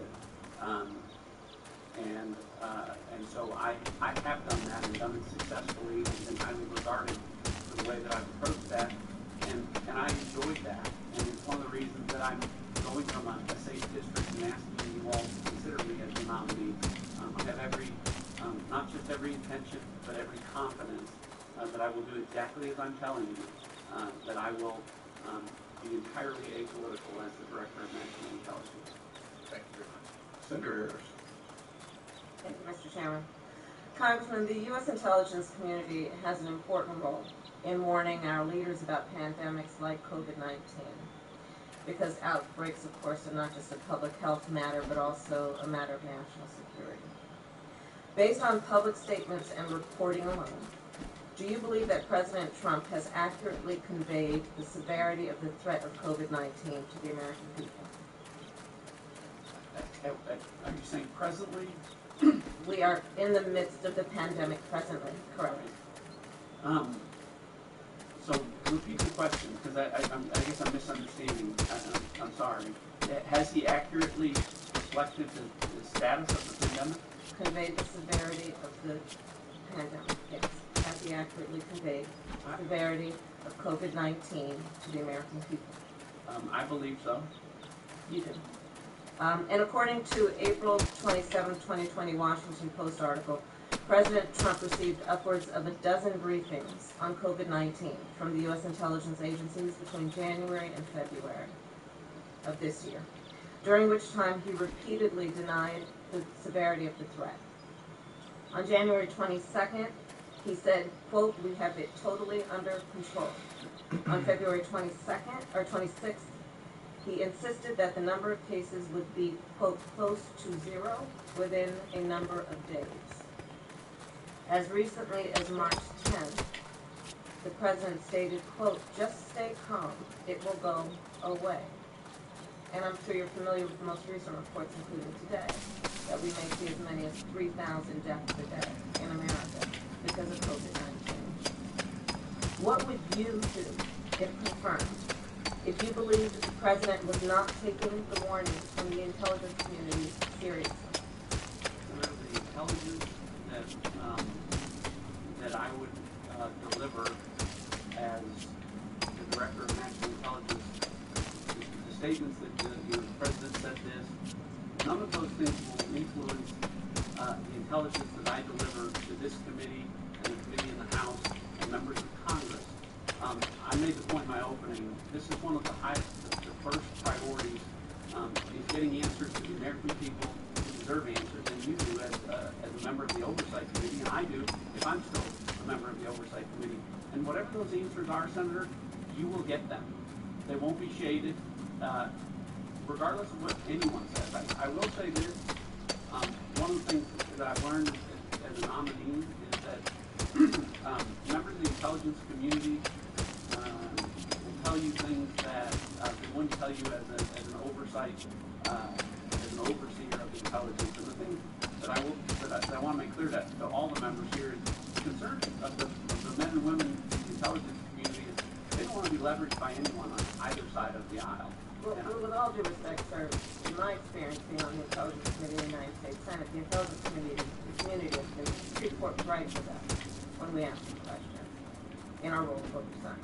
So what exactly are you referring to? Uh, I'm just saying in the perspective as, uh, the conversations that I've had over the past few, um, months, as I have been considered for this, I've, I've, I've had exposure to, uh, a, a lot of intelligence community members who just expressed the sentiment that they, they want to do their job, they want to deliver the, the best intelligence, and they don't want to be leveraged from anyone on either side of the aisle. That, that was the only point. I wasn't, wasn't directed at, at you, Senator, uh, at all. Oh, no, I didn't think so. Okay. Um, and how long have you been serving on the House Intelligence Committee?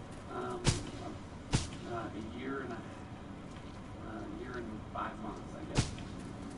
Okay, you were appointed to that committee in twenty nineteen, correct? Yes. Okay.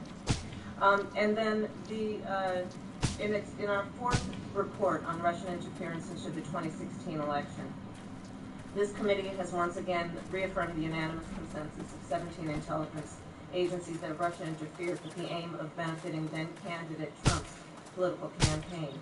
However, you and other allies of the president have sought to cast doubt on the consensus conclusions, raising concerns for many of us about your ability to be unbiased, um, which is a necessity to head the DNI. Will you accept the intelligence provided to you by the men and women of the intelligence community, no matter your personal beliefs, and do you accept the findings of the intelligence committee, community as it relates to the Russian interference in the 2016 presidential election? So to your first question, I will accept.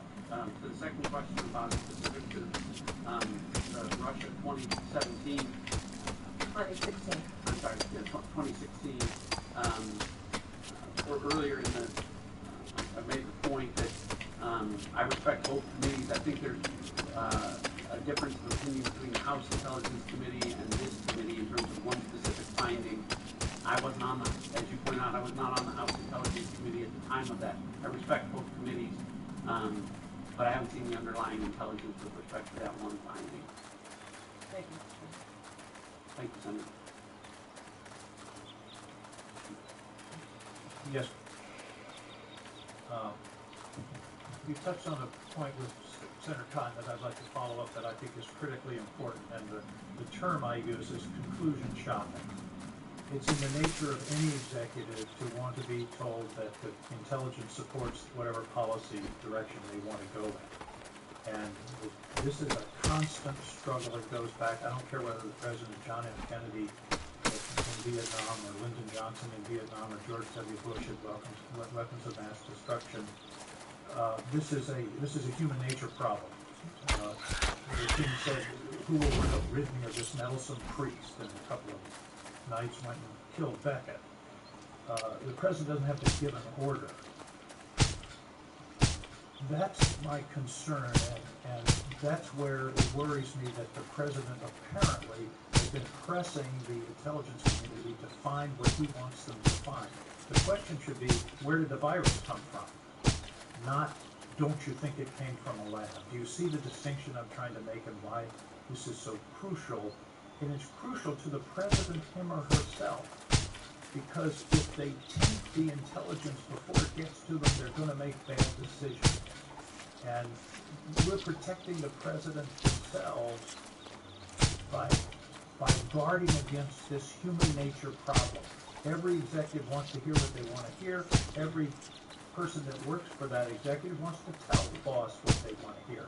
Talk to me about this concern. I think this is a critical issue, particularly with a president who is so strong-willed and has indicated in the past a strong desire to press the intelligence community to tell him what he wants to. Well, Senator, I appreciate the question, and I appreciate the fact that we had a chance to visit about this um, uh, uh, on the phone, and I, you made it clear that this is one aspect of uh, politicization of the intelligence community. Um, uh, sometimes it happens uh, even unintentionally. Um, and um, and I share the, the sentiment or the concern generally. Um, uh,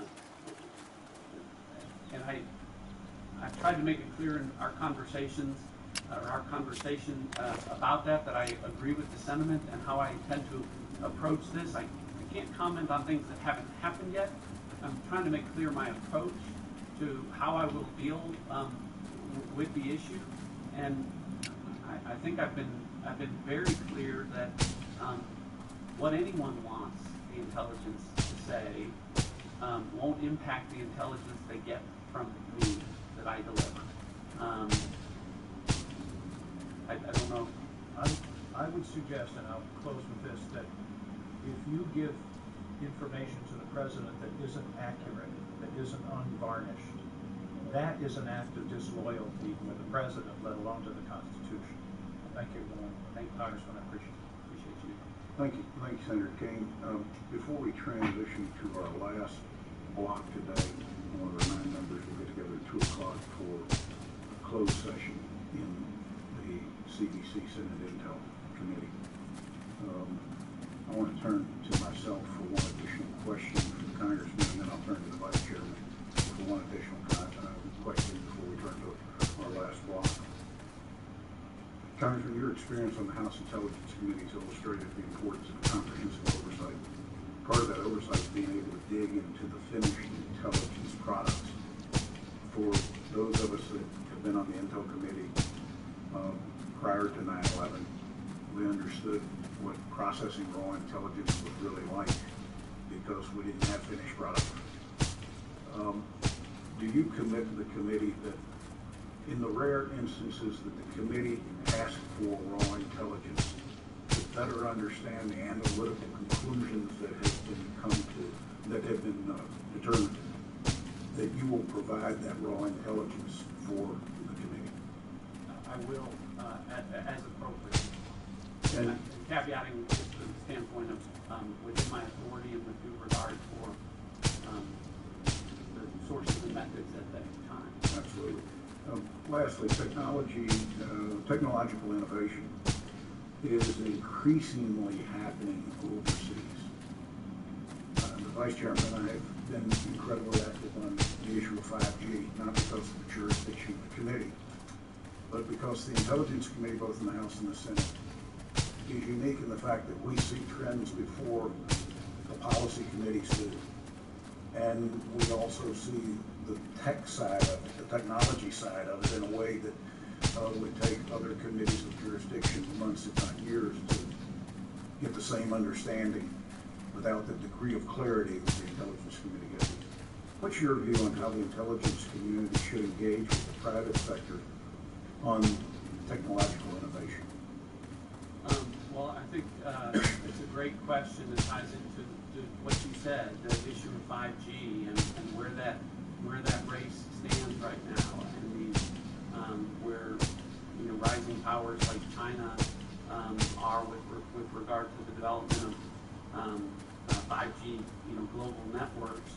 And, uh, our ability to ensure that, uh, interconnected global networks are safe, uh, really will demand, consistent with the five G strategy and Senator Cornyn's bill, is now a law with regard to that, um, that we, um, that we work harder to work with the private sector and take advantage of, um, the technology expertise that we need there to, make sure that we're first in all of these places. We talk about emerging technologies, uh, Chairman, um, you know, we have the best intelligence enterprise in the world. Um, to to continue for that to be the case, we've got to continue to innovate, and we've got to be first. We've got to be first and best on cyber issues, on AI, on ultimately on quantum. But but five five G is where we are with regard to that issue now, and it's the pathway um, to being first in those areas. And so, uh, again, it's uh, something that's vitally important, and um, that's my perspective. Question?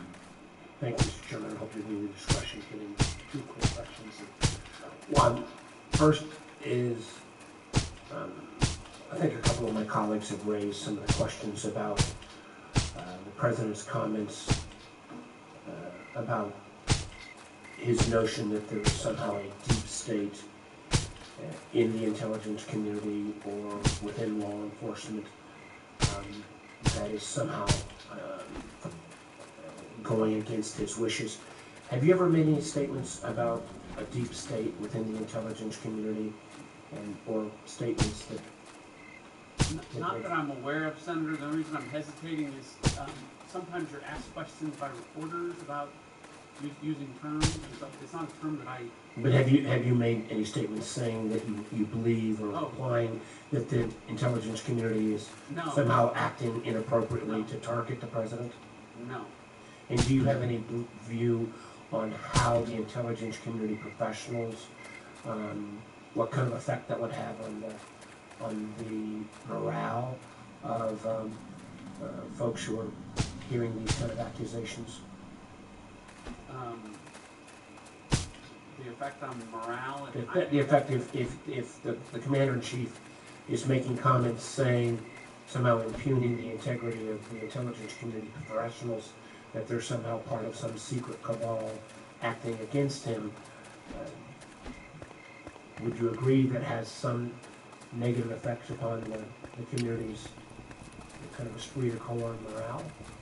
Um, my, my impression, Senator, from, uh, going to speak to the conversations that, that I've had without, um, getting into specifics. I think the sentiment that I've heard from, um, uh, the president is it's, it's not intelligence community writ large, it's specific, um, individuals and, you know, point, pointing to, you know, um, you know, for instance, misuse of intelligence authority, um, by certain individuals and, and, um, but, uh, again, my focus is I, I want to look forward, uh, not back. I think that's one of the reasons I want this opportunity. All of this underscores the point that the relationship isn't what it should be across the board between the intelligence community, the president, um, and, and, and Congress and its oversight committees. And um, again, it, it may be difficult, but I'd like the opportunity to strengthen that relationship um, for the reasons I talked about earlier. The the chairman's giving me my discretion, so I won't ask, I'm gonna come back later and ask you a question about NATO, but I would simply point out that, um, it is somewhat unique uh, to me that, that not only has the president made these comments about kind of the long-term professionals, but literally every person, think without exception, that this president has appointed for Senate confirmation within the Director of National Intelligence has been fired or removed or pushed out. My conclusion, maybe not shared by all my colleagues, but because all of those individuals, when they took on these positions, did what I thought was right, which is being willing to speak truth to power, and that cost them their job.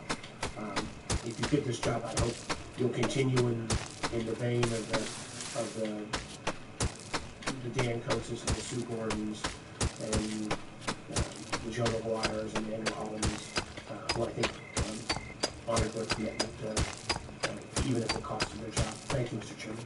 in an effort to get back on time, let me explain to members, I know some of you came in and you felt, why do I have to sit down there?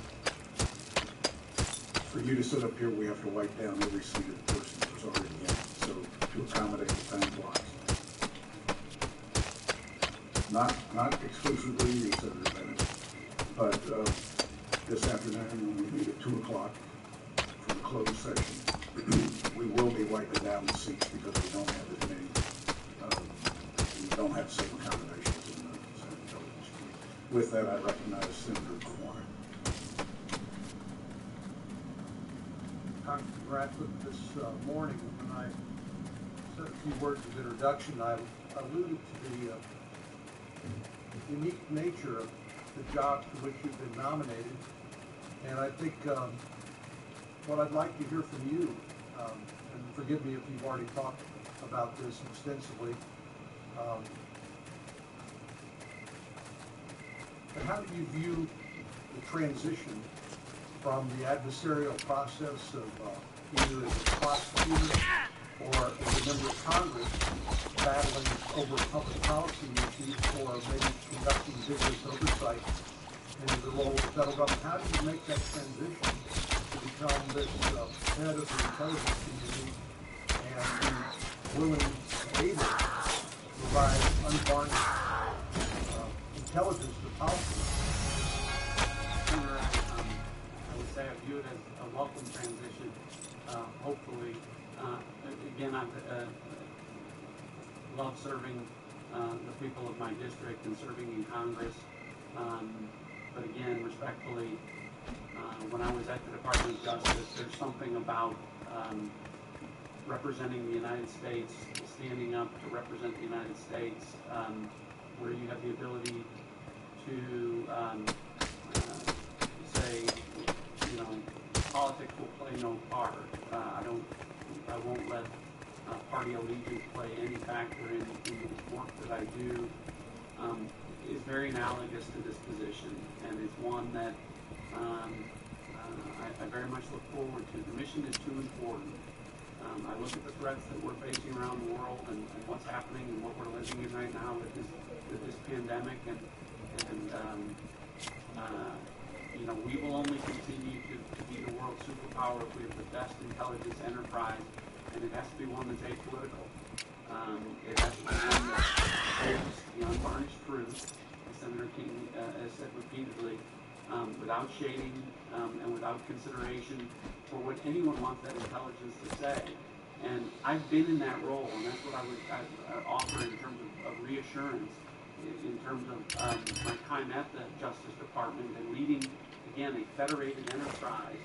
Um, you know, not not the, to the scope uh, uh, and size of the intelligence community, but the U.S. Attorney's Office um, is significant. To put in perspective, there's 435 congressional districts uh, the country is divided up into. There's 100 United States senators. There's only 93 federal districts. Um, and in my case, it was 35,000 square miles, um, more than 3 million residents within that. And so operating and coordinating and integrating in pursuit of national security priorities like the prevention of terrorism, um, I think is good training for this. Um, but it's uh, it's something that I found um, again that I enjoyed doing, and, and I look forward to the transition on, a- on a larger scale at a time that I think our country really needs it. And again, I think that I'm uh, well qualified to do. Congressman Ratcliffe, my, uh, my friend, the ranking member, uh, Senator Warner, um, frames this as speaking truth to power, but let me frame it a little differently. Do you have any problem in telling the president the truth about what our intelligence community has produced to allow him to then make best decisions in consultation with his team? Respectfully, Senator, I don't have a problem telling anyone, the president, members of uh, this committee, um, uh, and anyone that would be a consumer of intelligence and is entitled to um, uh, to see it, whether as an overseer or in whatever respect. The intelligence has to speak um, to exactly what the uh, men and women um, who are doing the collection and, uh, and analysis of it were all better served with the best unvarnished um, intelligence, and, and that is truth to power, and I look forward to doing that to, to anyone. And what's the danger if you somehow shaded or, or nuanced the, uh, the, the information for the policymakers, including the President of the United States? Everything that, that we, that the, the intelligence community uh, does is designed to inform all policy um, makers, the President, the National Security Council, um, uh, our military leaders, and members of Congress to have the best information to make our national security decisions. So to give anything other than the best information is to jeopardize our national security. It's something I just won't do. In closing, uh, I was glad to see our mutual friend Congressman Will Hurd write an op-ed piece uh, supporting your nomination. Will, as we both know, served in the CIA before he came to Congress. He's uh, steeped in these issues like uh, very few are, and uh, I was glad to see that vote of confidence. Thank you, Mr. Chairman. Thank you again, Senator, for your participation. Thank you, Mr. Chairman. I very much appreciate the opportunity to ask a question. Hi, it's nice to see you. Uh, Senator, uh, Gordon this morning, a really great letter from Attorney General Ashcroft. I'm very pleased uh, with how he commended you. In the letter, uh, he said, this is Senator Ash, or, or Attorney General Ashcroft, that integrity is the indispensable imperative for intelligence the best friend in national security. And national security is the singular portfolio most allergic to the infection and devaluation that results from inaccuracy and distortion. For high-quality decision-making, sound intelligence must never be contaminated by personal bias or political predisposition. Do you agree with that statement? Why, to follow up on, on Senator Cornyn's question, why is it so important that sound intelligence ab- above all else, really, must never be contaminated by personal bias or political predisposition. Simply because jeopardize national security decisions. Can you elaborate?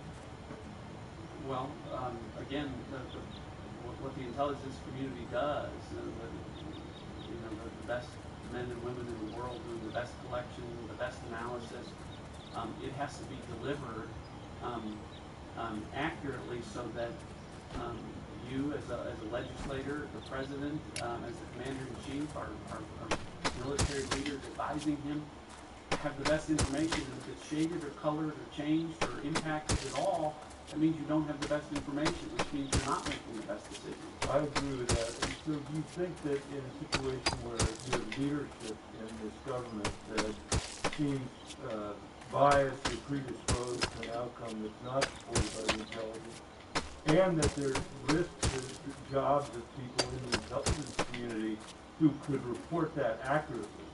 Like, let's say in North Korea, somebody delivers that intelligence that the great leader wouldn't want to hear, and bad things happen to a person there. Can you see uh, how that would distort potentially the work of the intelligence? Yes. And will you protect the intelligence committee at all costs, Yes. including at, at the cost of your own job? Yes.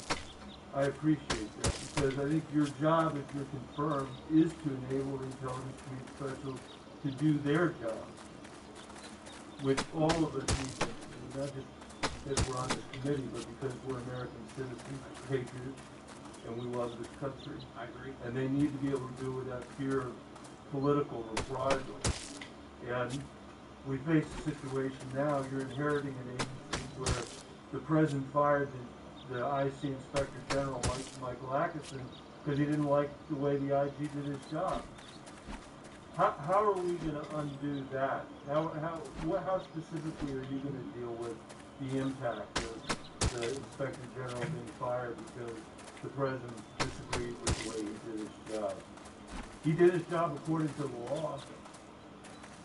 So what, how, do you, do you think there's collateral damage as a result of an action taken like that? Well, I, I don't know until I'm confirmed, um, what the reaction is, um, you know, within the community. What would you suspect it would be? Well, I, I, I honestly don't know what the, inter- uh, to, to your point about, um, the Inspector General, uh, again, I wanna relitigate, uh, uh, issues, but I don't think this is relitigating issues. This is, this is what the President of the United States is projecting to the men and women of our intelligence By nominating you, Congressman, the President said the intelligence agencies have run amok. That was in the context of nominating you. That's this hearing. Do you think the intelligence agencies of the United States have run amok? no. Do you think that there's an effect on morale among the, the men and women of our intelligence agencies when the President of the United States says they've run amok? Again, I, I think I tri- tried to address this, um, earlier. I heard the answers earlier, by the way, Okay. so, but I'm asking it again because I don't think you addressed it. Do you, do you think there's an effect on morale when the President of the United States describes the intelligence community as having run amok, and that's why he's nominating you?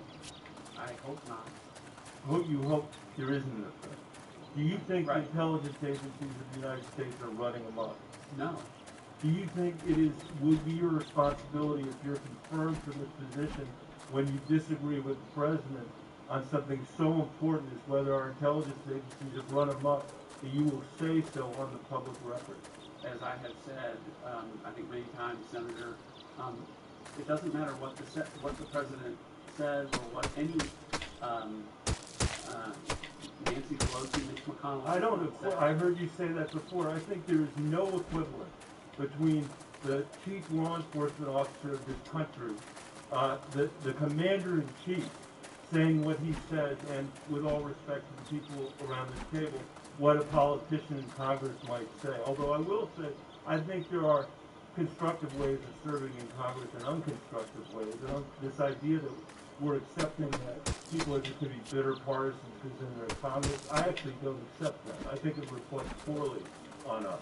when we do, but I, but I still would like to have an answer to the question. If you disagree, if the president said tomorrow that the intelligence agencies in this country have run amok, would you publicly disagree with what the president said? Nothing the president says will impact the delivery of the intelligence. That's not the question that I asked. Would I, If you, if the president says to this afternoon that the intelligence agencies in this country are running amok, will you publicly disagree with the president?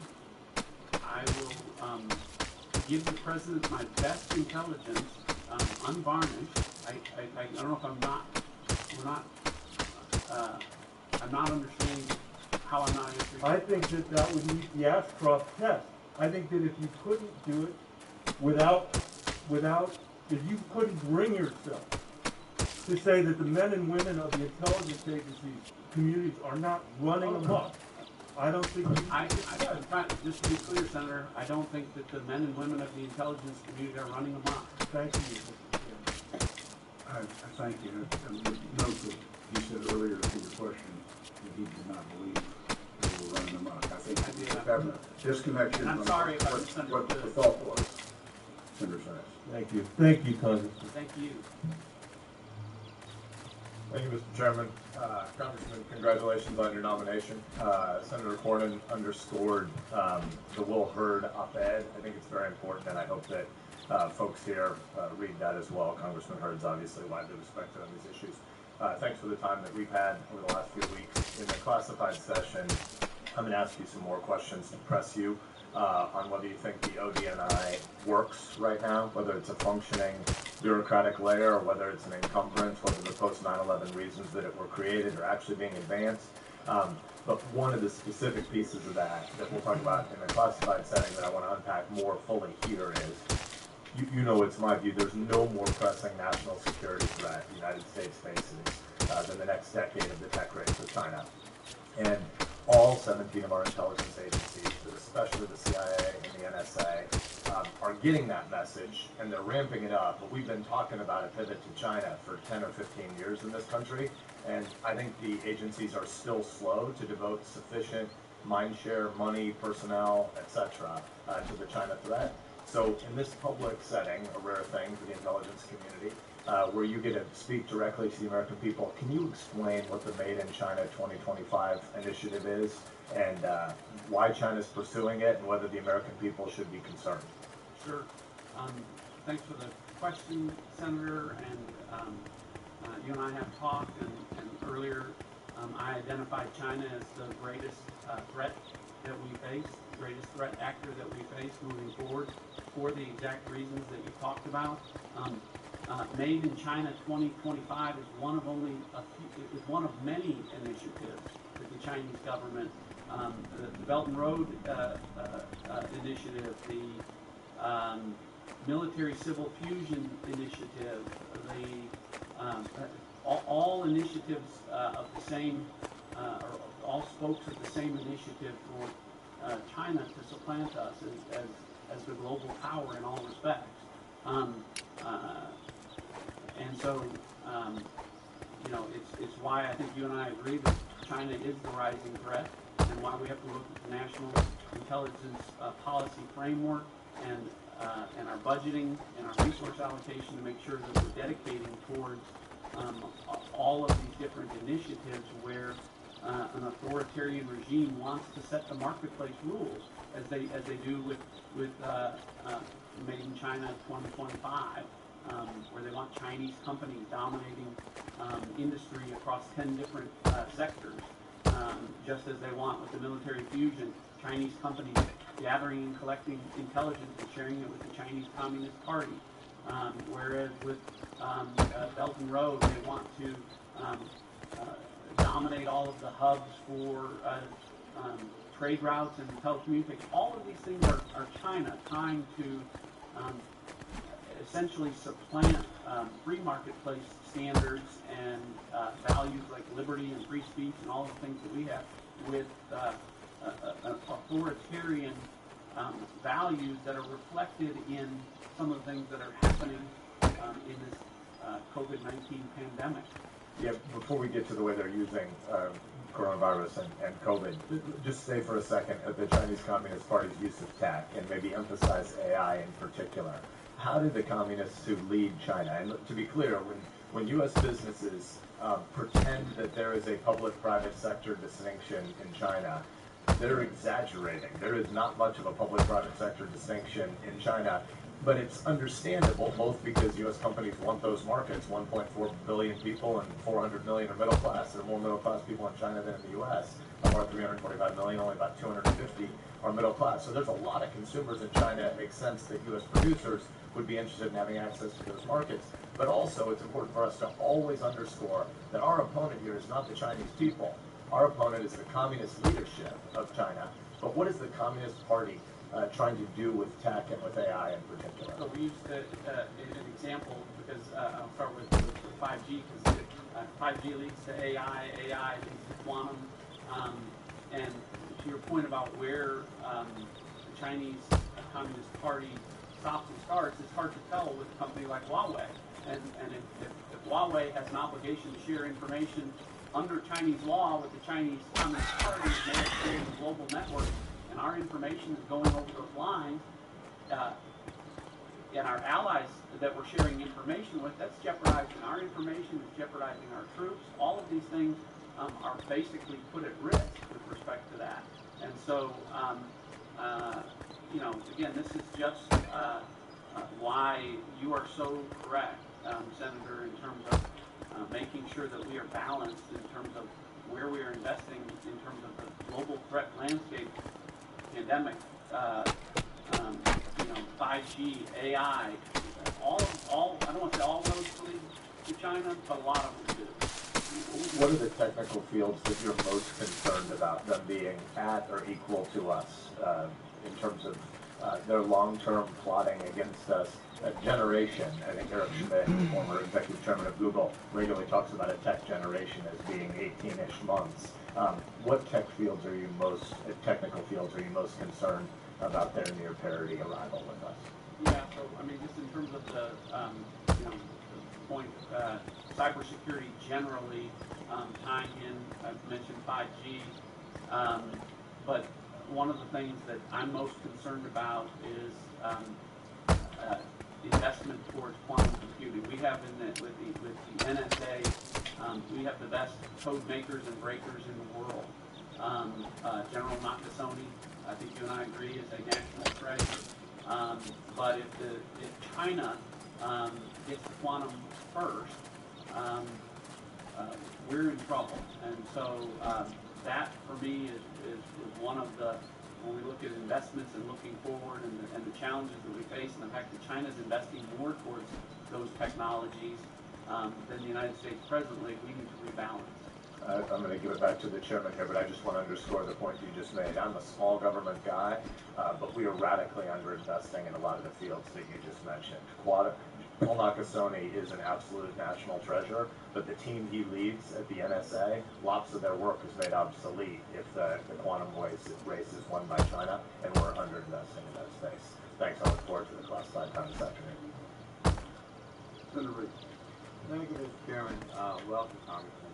Um, in your view, have we made progress in reversing North Korea's nuclear proliferation and nuclear development? Um, I view North Korea as um, the same uh, danger that uh, that they that they have been. I understand uh, and I appreciate the diplomatic negotiations um, that are taking place, and I hope that um, uh, you know that, that there might be some concessions about um, their nu- nuclear uh, weapons in exchange for sanctions relief. Um, but I uh, I can't address whether or not we've made progress with respect to that or not. You know, um, uh, given the class, uh, information that I've been privy to at this point, um, perhaps it, uh, you know, if, confirmed as DNI, and I had a chance to visit with um, Secretary Pompeo, um, and because I, think there's a diplomatic piece here that I don't know the, that I can't speak to, that I don't know the answer to. Changing subject now for Iran, were they in compliance with JCPOA when the president was here? Um, I, I'm not sure. I, I might have to, I, I don't know technically if they were, um, out of compliance at, at the time.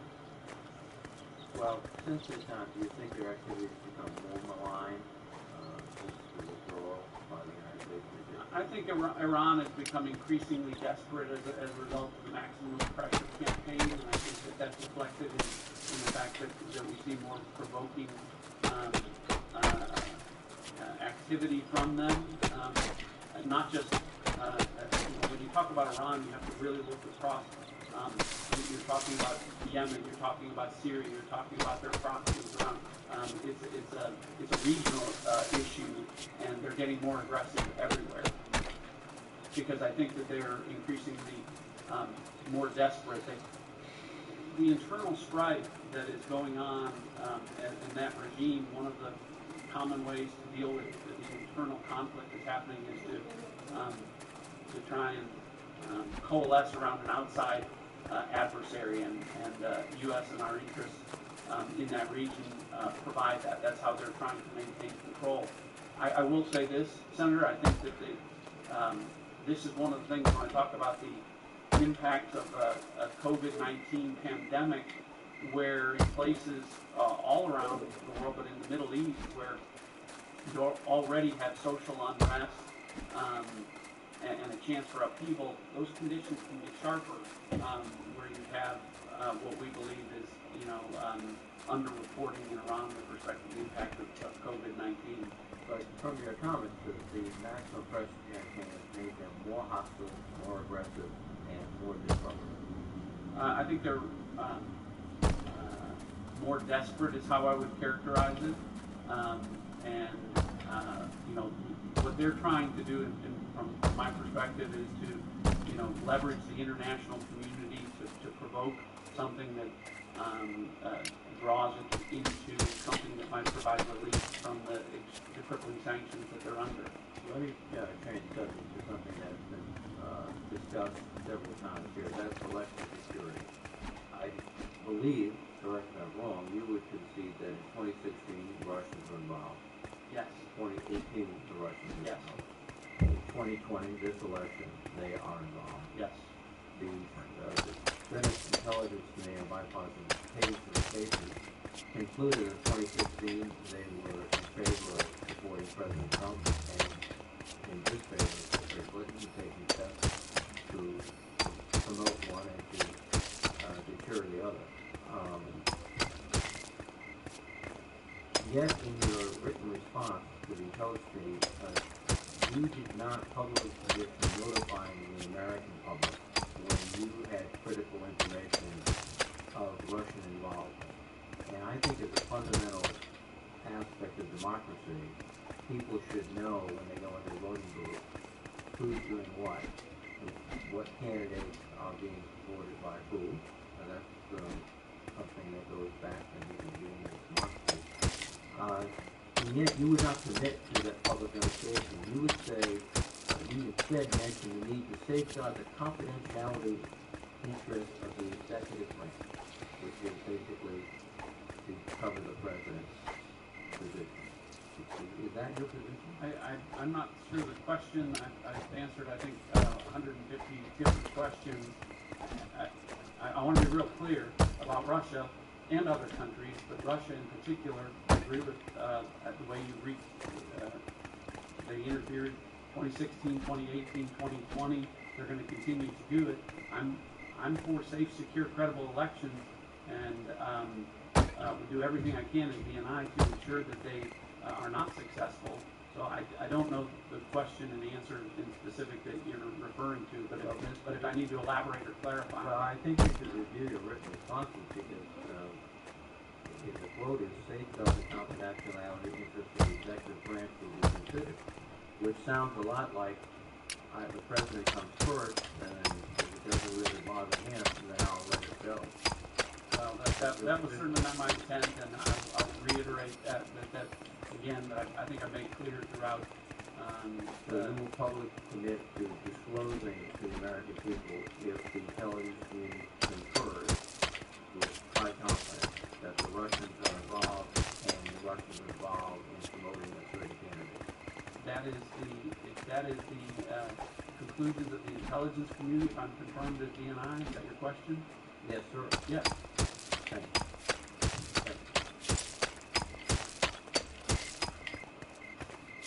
I thank the members. Um, This brings to close public session. Um, Congressman, let me say to you, this is, this point is not to solicit an answer, it's to create a thought process as we venture down this road of pandemic. Uh, I for one believe that the private sector will look very different when we come out on the other end as companies assess productivity from work at home, the need for um, high-rise office buildings crammed full of people, uh, the way we interact, I think will change. And the private sector is very capable of making those assessments and accomplishing that type of change. I would suggest to you that uh, when you're confirmed, now is a great opportunity to begin to think about not just reorganization of the DNI shop, but reorganization of the intelligence community, reflecting what Senator Sasse said about tech- technology. Um, It's not just about funding technology to be competitive.